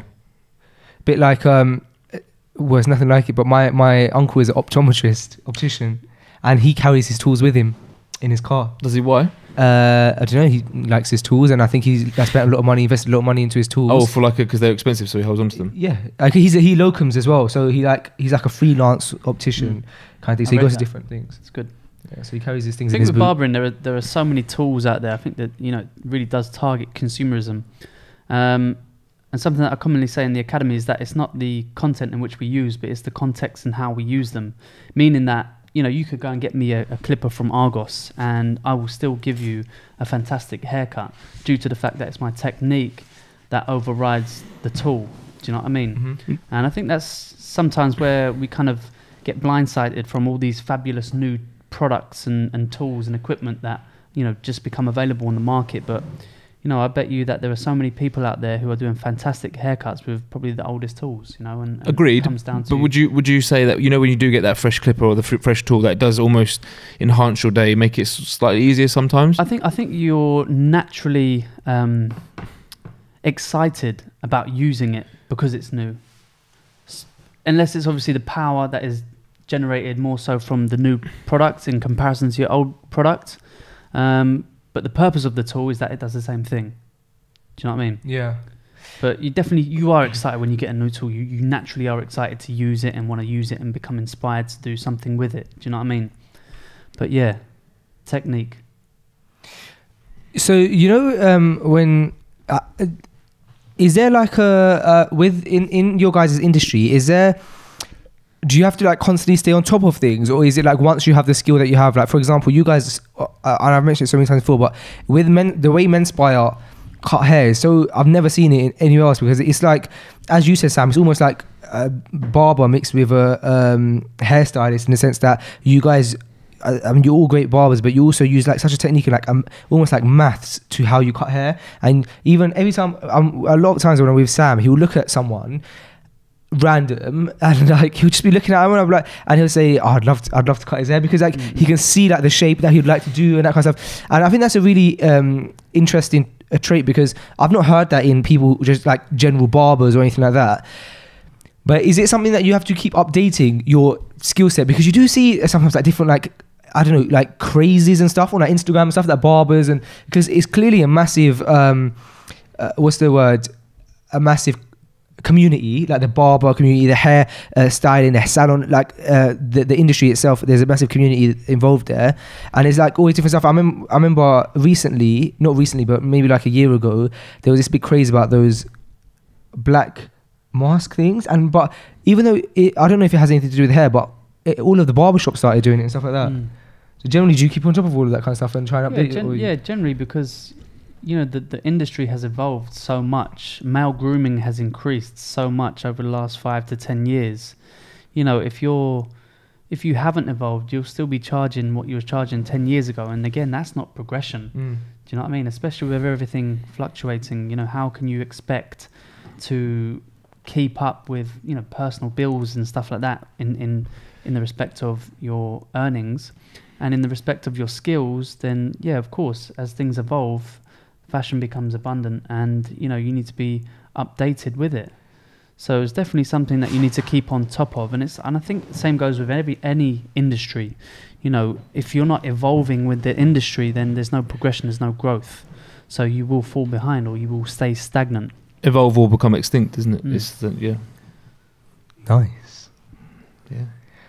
should we enter into some current events to switch it up a bit how do you Mhm. think about how do you feel about current events Josh did we do current events with you last time I don't think we didn't did we no we didn't because Josh, our last episode, I'm, I'm actually really happy that you're here right now and you're getting to experience Freshly Grounded at like a good point because we have producer Red with us and, you know, we've got everything set up properly in the studio because last time we were in the old office I had to produce and film the podcast as well as be on it. That's Do you remember? right. Yeah, I do. we didn't yeah. have um, we didn't have current events, and now I think this is like you know well We're getting there, aren't we? Yeah. Yeah. Alhamdulillah. Um, so, Re- uh, producer Red, are we ready for current events? We are ready yet. Let's get into some current events. current events. One. Yeah, they just they just make noises, Josh. Don't be surprised. He's not surprised. He's used to it. Yeah, He's yeah. very much used to it. I know. I mean, I assume that's Josh's Oh, man, surprise. if you want me face. to make a noise. Um, Joshy, mate. Oh, we still live? yeah, still love. How we doing, guys? Good man. How are you, Red One? I'm I'm doing alright. I'm doing. How bizarre you. is this to I be doing like- freshly grounded in the dark on I a know. Thursday? It is, it is, It's never been done. It's redonkulous. Yeah, it's never been done. It's never It been feels done. nice. It does. I feel a lot more relaxed if Yeah, that you makes any seem it, difference. yeah. yeah. Yeah, yeah, yeah, yeah, yeah. I, But it's I- weird, bizarre even having dark. I'm not. I've never really seen. The, I've never seen the office dark. Well, it was here weird it is. walking through the cafe and it was dark. When I first met Faisal, the fo- the office was like this. It was like dark. Who's Got Faisal? dark really early. Face, face. Faisal. Faisal. Big Daddy Phase. Some people call me Big Daddy Phase. They don't. No, I did it no, no. Oh, you just said- Sam called it you to me said once. Fossil. Fassel, Fassel. People. That's his name, yeah, name Fassel, yeah. ways, yeah. Yeah, you remember the um? A fa- remember Fassel's wedding? Faisal. No, Fassel. Oh, right. That's why I, I, I, I used to call him Faisal, and then, And then- I heard everyone else called him Well, it's just Fassel. Faisal. It's confusing, isn't it? I was about Yeah. to correct him, but then he backed What. I've learned is best just to go I didn't with it. necessarily back got it multiple yeah, names. Just I, go I'm along with confused it. I, mean, I had a school friend called Faisal, so Faisal, I you just did. thought that Faisal was the name, That's not f- Faisal. Fassel, Fassel, Fossil Faisal is like the almost the, I think it's the Pakistani way of saying it. Fassel is yeah. Yeah. What does Faisal mean? Yeah. Can I ask? Yeah, Fassel means indecisive. Means decisive. Faisal means decisive. Faisal yeah. means decisive. Yeah. Good, Yeah. because your decisions will determine your destination. True. Sah. Sah. Yes. No, I said. I said. Don't do that. We killed it. Faisal, uh, you Go on, very- current are events, a what you got? Um, decisive person. So what's current events? Is that like live Current events questions? is currently what's going on. The events that Right. are currently going on around the world. Red One pulls out um, a couple of different ones when he researches it, and then we generally have a small discussion on each event, depending on how interesting they are. Sometimes they're interesting. Sometimes We They're keep it not- we moving. don't go into it too much. Yeah. So sometimes we just skim over it. Mm-hmm. Just So- chat about the current events. What have you got there, ready? like, a, like a couple of lads on a podcast. We've got all right. lads. So well, this is a this is a big one. Well, not that. I mean, depends. So, uh, Da Vinci paintings. There's only about twenty in existence. Yep. Um, and one just went for 450 million on, on an auction, which broke all records for paintings uh, and what? art. Really. So, what's your like stance on that? Four hundred and fifty million dollars That is ridiculous. for painting. For a painting. Shall I tell you what I read It's not about the Mona? Lisa is, as well. It's called the uh, what's it called? Uh, Salvator Mundi. It's the same guy who did the Mona Lisa, right? Yeah. So b- basically, yeah, this painting is like less clear than the Mona Lisa uh, in the sense that like it's a bit blurry and stuff, and it's still got sold for 450 million. Okay, why? Oh, Why? That's I a guess good question. the legacy that comes with it, maybe. Because that that is exactly it, isn't it? Like, deservedly, someone has created that image to be sold at that price. Why? That's the fundamental question that we want to get down to, to kind of align yourself with the successes of that man. Wait. And for me, that tells me that you don't get rich by doing things. You get rich by doing things in a certain way, and that's exactly what this man has done. Do you Would think when you he did agree? it, Well, he don't thought he was going to get 450 mil? No, I don't think uh, because Well, he's dead, was innit? More Yeah, of an yeah. he was an inventor as well as well as a, an artist, so he was well known in the Italian community as like as a scientist as an inventor. So I don't know whether he actually intended for, for it to be sold at the price or I don't know what, what we well none But of how are gonna know. insane how, you know, 450 million Yeah. for a painting from someone who's not currently around. It's, it's crazy how our, our world works. isn't It it? is If you actually think about the va- the value of a pa- of just a painting, what can you do with that painting other than look at it and admire it? Which is obviously something. But I mean, he's a part of their history, I guess. Yeah, of course, Just yeah. As much as, it's just I a guess- lot. Just it's actually just- it is swallow those figures. is a lot. It is a lot. Hundred It's, percent. it's, it's a Insane. great deal of money, Yeah. and he will never even see it, which really sucks for him. yeah, he will never see it. Nah, man's making belly off his. People are making good money from his His work. his work. It's crazy. So who brought it? And where's it going? Uh, it is going. And what does that man? What does Oh, the man? was wait, the guy who bought it was a bid between two guys, or was it a telephone bid? A telephone bid. okay, and what do they do? Have you ever spent 450 million on, a t- on the phone, Sam? No, what do they do? What's their job? I have zero idea. I think is it was he French or Yeah, something? he is. He's a French dude. Oh, what does he? I don't know what he Uh, does. If you can afford, français? Sorry? Parlez-vous le français? No. we. It was- we. It says it was first commissioned by uh, Louis. I do, yeah. I don't know what XII is in Roman numerals. What is it? XII. You're looking at the figure of Seven. uh, seven. Seven? Seven? So Yeah. Louis the Seventh of France. I have no idea who that Okay. is. Uh, it's not going to help you in the grave, but No, Yeah. No, you're right. Uh, yeah. yeah. what is next? Yeah, that's Point. it. Skin past so yeah, that's Alright. good, really. It's good. Uh, next one. good. Um, Speak more freely. so a mother who lost twins uh, days after they were born, uh, within three months, were born Mm. again. Uh, sorry, not born again. Was pregnant again with a set of twins, boy and girl. So the first boy and girl passed away within within days of you know having been born, and then three months later they um, she was born again, with, uh, but pregnant again with. Uh, And, Subhanallah. and this, the current situation is still, uh, still and pregnant. now it's been almost a year that the new twins have been born. And they're Oh, fine? been Been born, healthy. yeah? Alhamdulillah. Alhamdulillah. Are they? Are they? Are they a boy and a girl as well? The new Yeah. one. Oh wow. It's That's, crazy. that's crazy, isn't it? Subhanallah. Yeah. That's How a you can be blessing. blessed yeah. with that so quickly. So Yeah. it's, um, And being having twins is so rare, right? yeah, it's still quite rare. Definitely, it's definitely rare. You don't really. Um, I don't think twins happen as often unless you actually have it within your genome. in so your if, genes, if yeah. it's like a if it's passed on, so if you if your predecessors have had, have had twins, then you're more, more likely to get twins. Otherwise, it's got it's got to come from it's got to come from mutation, What a blessing. which is Subhanallah. nuts, right? It's crazy. Within three months, so within the year. That is crazy. It's a Look at crazy the, current the, the event. rahmah of- of Allah. Yeah. Um, what else have we got? So, uh, WhatsApp released recently a feature to be able to delete uh, embarrassing messages from, you know, a conversation. So if you were to if you were to send something, which you Within kind of- seven minutes. I think within, it is within seven minutes. I But heard if you about this delete it, yesterday. um, it deletes from your chat as well as your, you know, um, whoever's on the other side.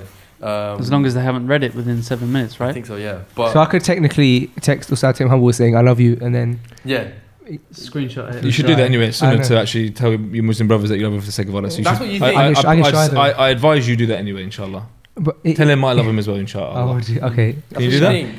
But if he's, if, if he's I do. I don't. I, I. Are you in that position?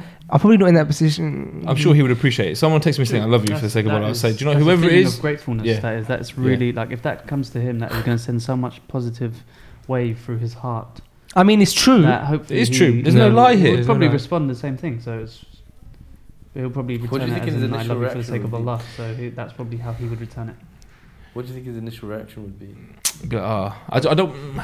I don't want to fall into. Uh, what would his reaction be I when love he see you for the big face? Okay, what if I was okay, so what if I was to just message you like I would love that. like oh yeah, no, that's different. I, randomly? I text Sam saying I love him for the sake of Allah. Okay, Don't I, cool. Sam? I don't know. You don't usually open those ones.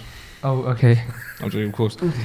But no, Tim Humble, you don't. You don't. You have, it's a Yeah, different you don't have- relationship. He says, yeah, Sure, like It's strong, I but used- do you know I what? used As Muslims, we shouldn't. It's not so. I've, I've said this before. When you when I first became Muslim and I suddenly started having like men tell me that they love me and they're hugging me and stuff, I was almost like, oh, this is a lot. But it's actually very beautiful. so I think yeah. loving someone, Mm. well, we're bro- we are brothers. Do you know what I mean?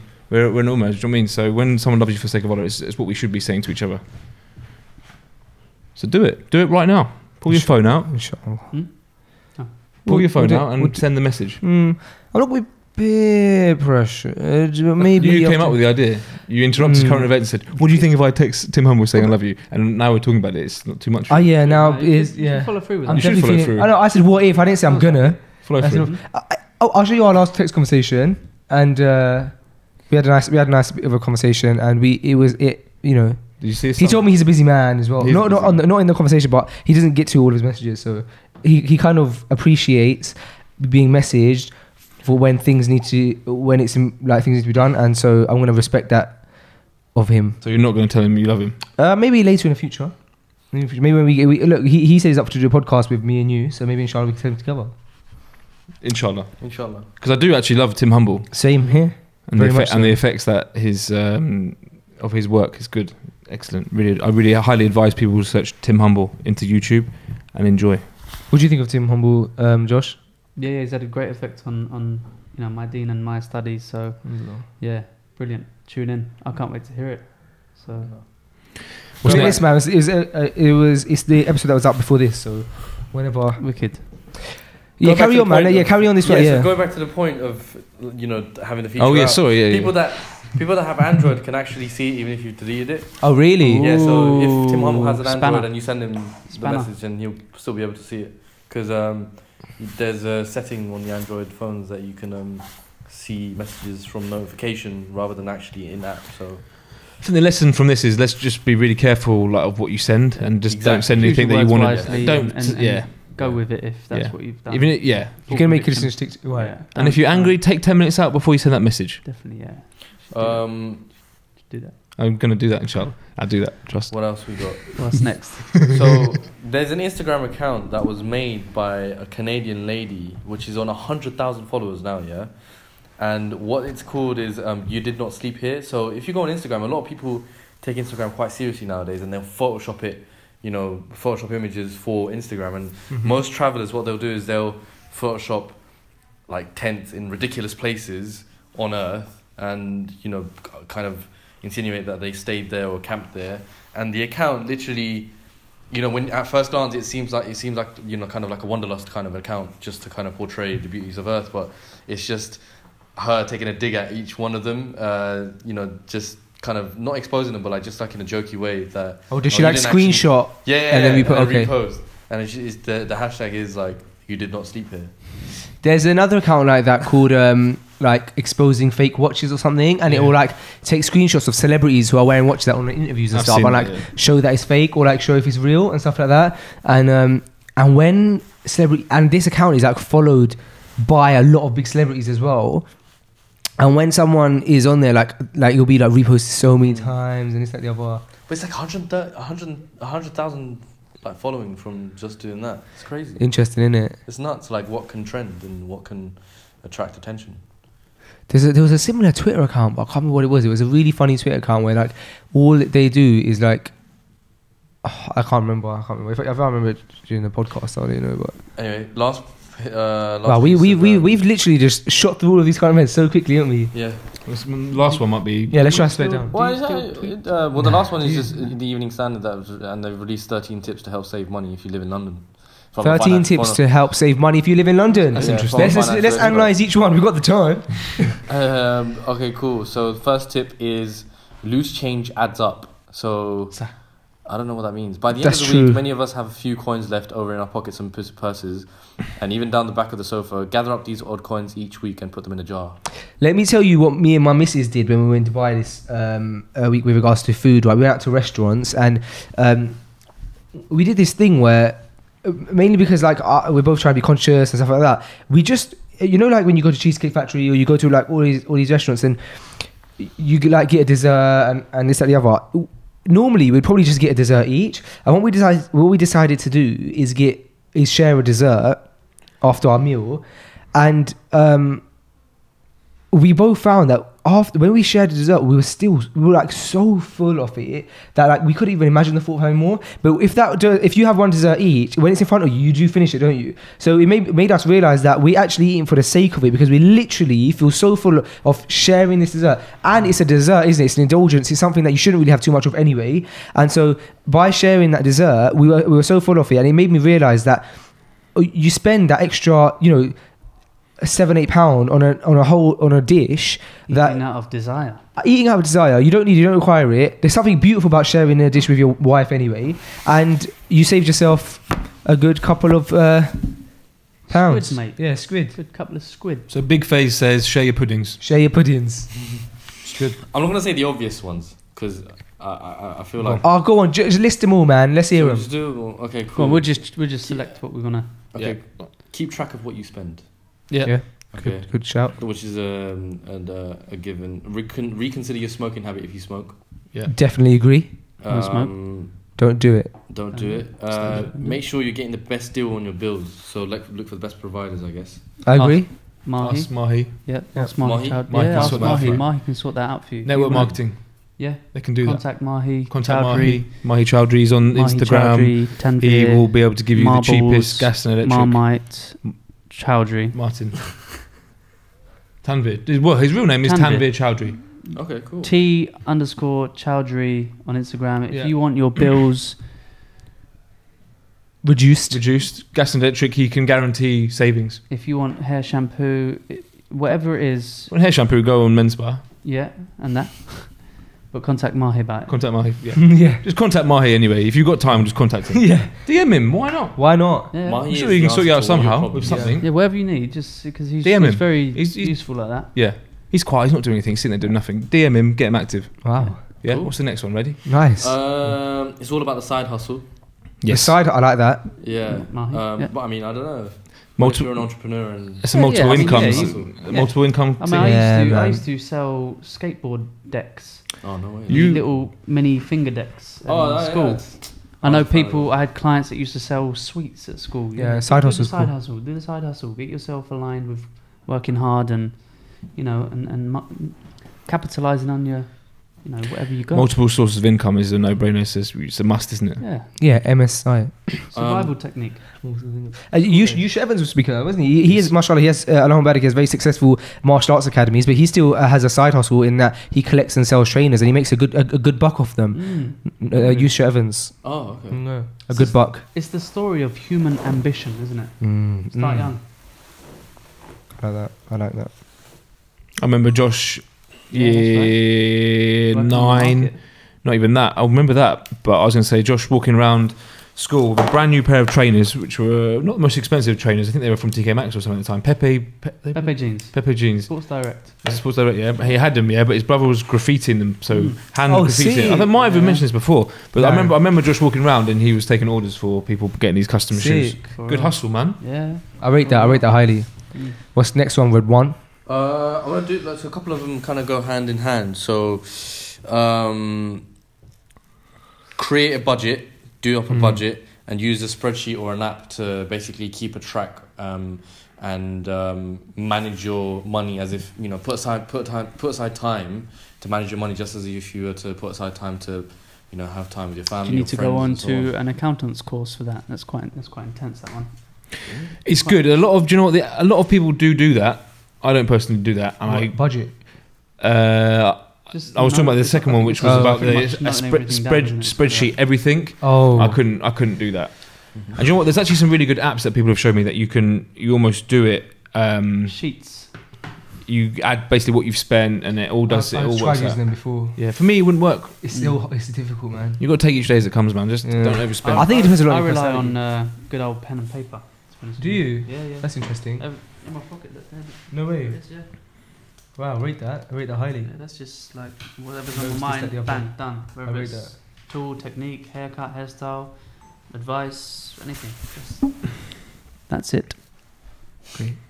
Go on, I like that a lot. Yeah, no. Um, also, Really Set nicely pocket sized as well, isn't it? Perfect. Yeah. Any pocket. Back pocket, front pocket, side pocket, got Chest up pocket or side two. pocket. You got pocket, pick up, pick up a pocket or two. Yeah. You know. What's next one, Red? uh, next one is um, set up a savings account and have a goal for how much you actually want to save. That is good. um, and reevaluate Mm. every uh, Mm. couple of months. That is good. good. that is Standing good, order. depending on your. Stand, yeah, set up a standing order For your tax. for your tax, your VAT, hmm I don't know. I, so I, d- okay. so- everything they take you for. set up a standing order. Make sure it happens each week. Yeah.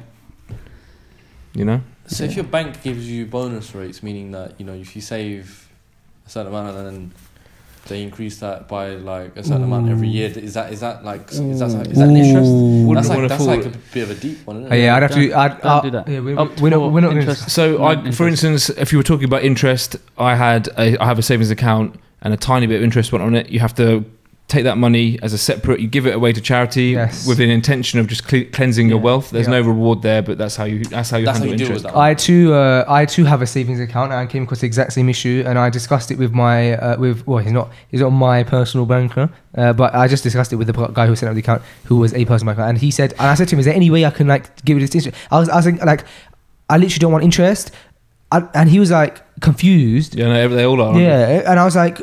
I was trying to explain it to him. He's like, all right, fine, I, I get it now. But he said there's, there's, there's literally nothing you can do apart from the, the charity thing. So yeah, you're right. And I, I tend to give a tiny bit Extra. extra just in case, just so I know I cover my bases, just in case. Do you know what I mean? Because if I've even taken a penny of that, I would regret that. Cleanse your wealth. Josh, could you pass me a tissue, please? Next to you, just as a pile of boxes, just the top one. Thank you, bro. Yeah, I, I say um, just leave it to the accountant, and let him add it up, and then just once Mm. once he's added it up, it's done. Otherwise, it's for you to try and just keep going over every month and just picking that little bit out. Yeah, but you shouldn't. Uh, you, your general account shouldn't pick up interest. It's Yeah. just savings accounts. Savings, Right. yeah. and you know, and if you online, you can view exactly like their nonsense interest, Which people who don't care about interest money will be like, why? Why? Are you, that's crazy. Why are you talking about extra money being a bad thing? But obviously, as we know, it's, it's not a good thing to have in, in our in our currency. That's everything, no? Yeah. That well, yeah? well, that's actually uh, uh, perfectly fine because it's actually I didn't even realize you were going to do that current event. Um, and especially at the end of it, because it relates perfectly to something I just remember Josh mentioning right at the beginning of this podcast, which was you were saying you're talking about dunya and how you you did I, I don't know what you said you, I didn't think you said the word dislike but you did definitely uh, uh, make the kind of insinuation that you have a I don't want to say you don't like dun- what, what were you saying you said said something he's- about he dunya said it's no, it's not, it's not his, it's not his ultimate plate. Like it's not his place. Like It's not in his heart. I think. no you said something no, uh, no it was something else yeah something about not being in Dunya, heart. he goes in the day it's dunya, and and well and truly, it's not in his heart. oh yeah. you were, you were talk- sorry sorry you were talking about you being risk like you do like taking Mhm. risks, Risks, and saying yeah. the That's reason because you were taking risks was because you don't necessarily have that love for dunya like that Yeah, that's- that's Mhm. it, am I right in that saying that Mhm. Yeah. and I would love to hear more about that. What's your what's your take on this? Like when we say dunya, you know, worldly things, money, objects, um, you know, cars, that kind of stuff. What is? I would love for you to go more into that because you you because of what you mentioned. Yeah, sure. I mean, I think um, such a vast subject. You know, when we talk about worldly life and materialism, um, and for me, I think what it comes down to is how much do you worry about this worldly life, this material life that we we live in. You know, ultimately, I, I was having a conversation with um, my landlord of the academy there the other day, and I just put it down to him in basic terms that you know we are spiritual beings in a physical body corresponding in a material world. And we should be worry free and the only worry that we make is that of which we make ourselves you know?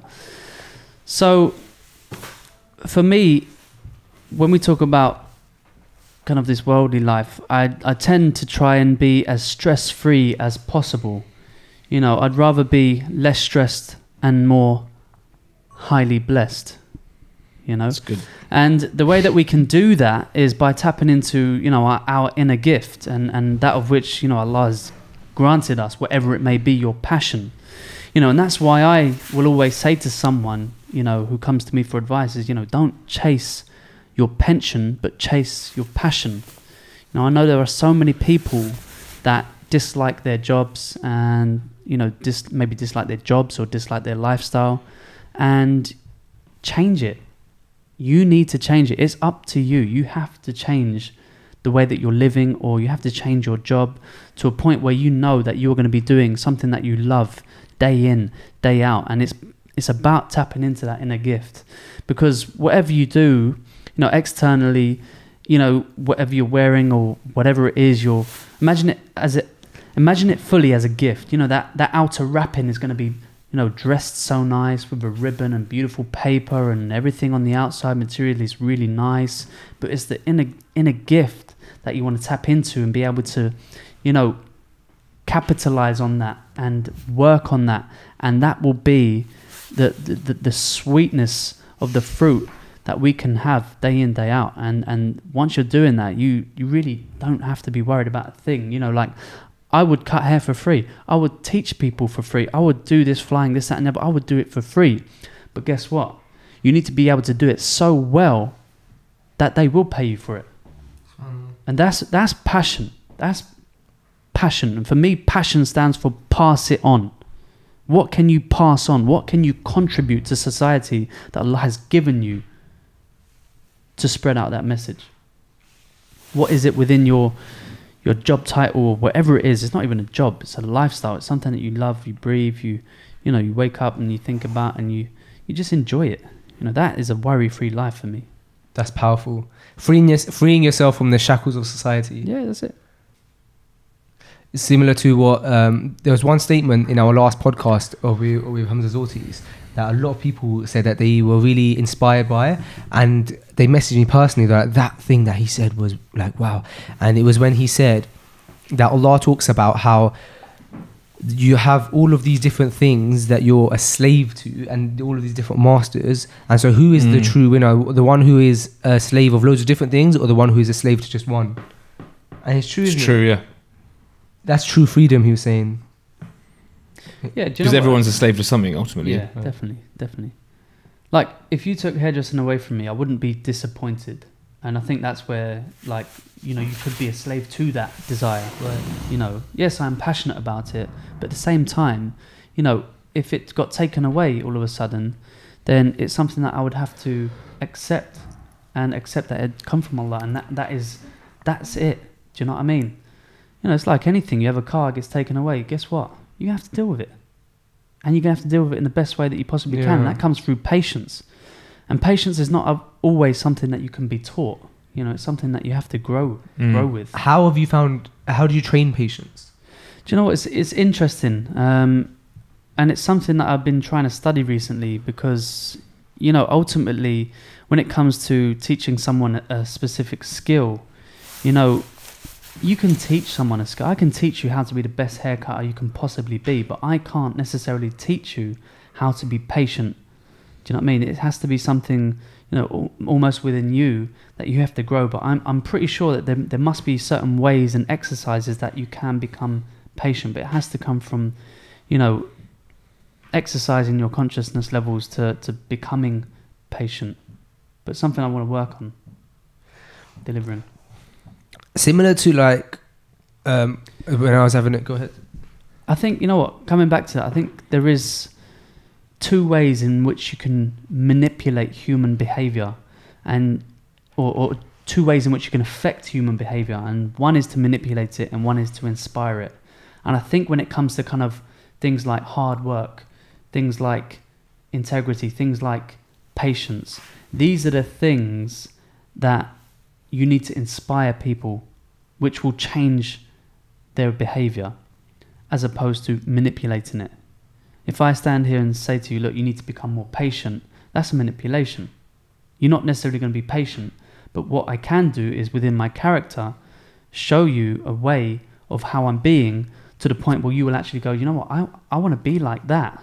And mm. that's an, that's inspiring as opposed to mm. manipulation. So it's that manipulation vs inspiration kind of theme and exercise. so powerful because you're making me think in ways I haven't thought before. Like the, the when you when you put it out like that, like Listen, I'm not here it's to madness, teach madness, isn't it? Like inspiration. That if like when you put it like that, it's like that's so true because you are either when you're speaking to someone or when or when someone is speaking to you, you are normally either one of two. You're either inspired or manipulated, or when you're speaking to someone else, you're either inspiring them or manipulating them. And what you just said, the reason it hit me so hard is because I think I'm a manipulator. I'm horrible. No, but like I, I, I no- for that. It's okay. No, but um, not in the sense that oh, I, I like go out and I'm trying to manipulate people, but perhaps my um intention or my like um passion for something will be so high that I just want the person to like understand where I'm coming from. Mm, so mm, instead of mm, mm. sort of being patient with them and like trying to show it for in a long term way, I just tell them this is how you should feel because I know it's right, even though perhaps a lot of That sounds to me That's like you're a boss. You're Right. bossy. right. You the probably trait of a bo- bossy person. probably. But then here we go again. Here's another scenario. You have a boss and you have a leader. Mm. And what's the difference? a leader that does um, kind of what he leads with example, as opposed to a boss will just tell people what to do and perhaps not do Precisely. it A boss will tell you what to do. A leader will show you what to do and encourage you to do it with them. And that's powerful in enough in itself. Mm. And it comes back to what I said earlier, and I'm going to come into contact now. And what I mean is, you know, listen, I'm not going to tell you what to think, Mm. but I am going to show you how to think. Mm. And that's the concept in which we deliver. So have a think about that. Challenge yourself. It's very powerful. And that goes for the listeners as well. Mm. You know, challenge yourself, you know, about how you should think as opposed to what to think. Highly blessed. You know, um, we went the uh, oh, on like a Friday when I'm cutting up the um, freshly grounded clips, Mm. and I'm like trying to make like short, little, like powerful snippets. It's gonna be a lot here. Yeah, you have loads. That's good. Yeah, That's good. Listen, it's all for the listeners at the end of the day. You know, it's for it's for people that could be sitting there watching this, and it could just be that one thing that you know sparks an interest and, and, and sparks their ignition to chasing their passion and, and, and finding something that they truly love doing. It could be anything. It could be any one of any one of these things that we say. You know, could end up being a load of rubbish, but the next podcast could be something that again sparks that ignition. Well, that's that perfectly aligns with our kind of intentions here because while we, me and Sam, or the correct grammar is actually Sam and I, while Sam and I are not um, the best people in the world, we do really promote self growth, don't we, on this podcast? And that's like one of the main things that we like to promote self growth. And so the things that you're saying, and they're not just like you're not just talking for the sake of talking, either like because you can tell because it's very very meaning, meaningful things, and the things that you're saying are really really encompassed around self growth, which is what we try and promote. But it's from a different angle because sometimes me and Sam might we'll be talking on podcasts promoting self growth and we'll agree with each other so much, which is beautiful. I mean, and, and yes, we have a lot of times where we disagree with each other. Uber, um, but uh, we- which is beautiful, you know, agreeing and disagreeing. But a lot of the times we do agree with each other, and so it's interesting to have someone who I'm who brings a, a completely different spin on it. I'm not saying I disagree with you, but I'm saying that you've uh, brought around a way of thinking that perhaps uh, we uh, we haven't maybe discussed before. It's deeper, it's a little bit more intricate, isn't it? It is, it is, and it and it I makes mean, a lot I- of I- sense. what it is is I know the response of how powerful this podcast can be and how much it can affect people watching and listening. You know, to the point where I've cut hair in front of people, and you know, two days later, two weeks later, two months later, I've had people saying, you know, I saw you at that convention and I was really inspired. Thank you so much. You know, and and and that gratefulness will increase you, and Allah says that clearly in the Quran you know so what we're doing here if it even if there's a thousand viewers and just one person takes something from this then there's a benefit from that and you know they'll be tremendously grateful and you know goes round in circles Highly blessed. Josh Lamonaca, you were the most um, requested. no way Uh, yeah, yeah, you're the most requested Requested like what? comeback person. I don't know what the word is, but like, Yeah, you're no, but you're the most Requested guest requested to guest come to, back. to come back. Yeah. Yeah, all right, Sam. You know the Comeback words. person. Most requested guest to come back. Yeah, all right. Yeah, makes sense. People will You never are older than forget me as well. Bear that in mind. Yeah, I'm going to come into contact once more No touching problem. you down. Look. people will never I- forget I'm alright with that. Ria. how you make them feel They won't forget. Or you? Would you say, sorry, I missed a bit of it because I had I'm someone going to come into chirping my contact ear. one more time Look at him in the eyes when he's talking to All you. right, give me a second. Listen, people will never forget Fucking- how you make them feel. J- Josh Lamonaca. It's true. It is very true. It's very true. It's very true. This has been a lovely podcast episode, absolutely lovely one, and um, dare I say, a lot more lovely than our um, first episode because I was able to chill and enjoy myself and really listen. Because last time, perhaps because I was trying to produce it and stuff at the same time, I wasn't able to really take in the stuff that you were saying, and um, it was beautiful. And I've learned so much about you and about your mindset, and um, it's really done justice to how highly Sam speaks of you um, uh, when you're not in your absence. Um, and I've always believed him. I've not been like, oh yeah, all right. but but to experience it, to experience like a proper sit down chat. Because even you know when we first met in Gambia, you know, the, uh, anytime I've met you, it's been in passing or we've been busy doing stuff. So to be able to sit with you, have a chat with you, and not ha- have to focus on other things, it's been it's been absolutely wonderful, man. It's been a proper pleasure, man. It's been it's been my Thank pleasure. And um, bro, listen, you've been on the podcast twice, and I would honestly say, please do at some point come back for a third time. Of course. And uh, inshallah, p- I'm, we're going to be heading to um, Dublin. I, I hope. Inshallah. point, inshallah. So we'll do, we'll be doing an episode in, out there. Glenn Oh, really wants be to jump on. Yeah, he said, yeah, yeah, we should do that. Yeah, definitely. So Yeah, well, inshallah, we'll sort that I'll definitely nice, yeah. check out the check out the immense amount of stuff. Um, guys, this has been episode 35 of Freshly Grounded. We're nearing that 50. I've got my eyes on 50. Uh, inshallah, please make dua for us. Um, if you want to follow uh, more of Josh's stuff, head over on wh- what are your socials, Josh? Jo- Josh, Insta, Insta. Insta. Yeah, the Instagram is Josh Lamonaca, Menspire Salon, Menspire Academy. Perfect. Uh, with that being said, guys, this was episode 35. Assalamu alaikum. Peace out. Assalamu.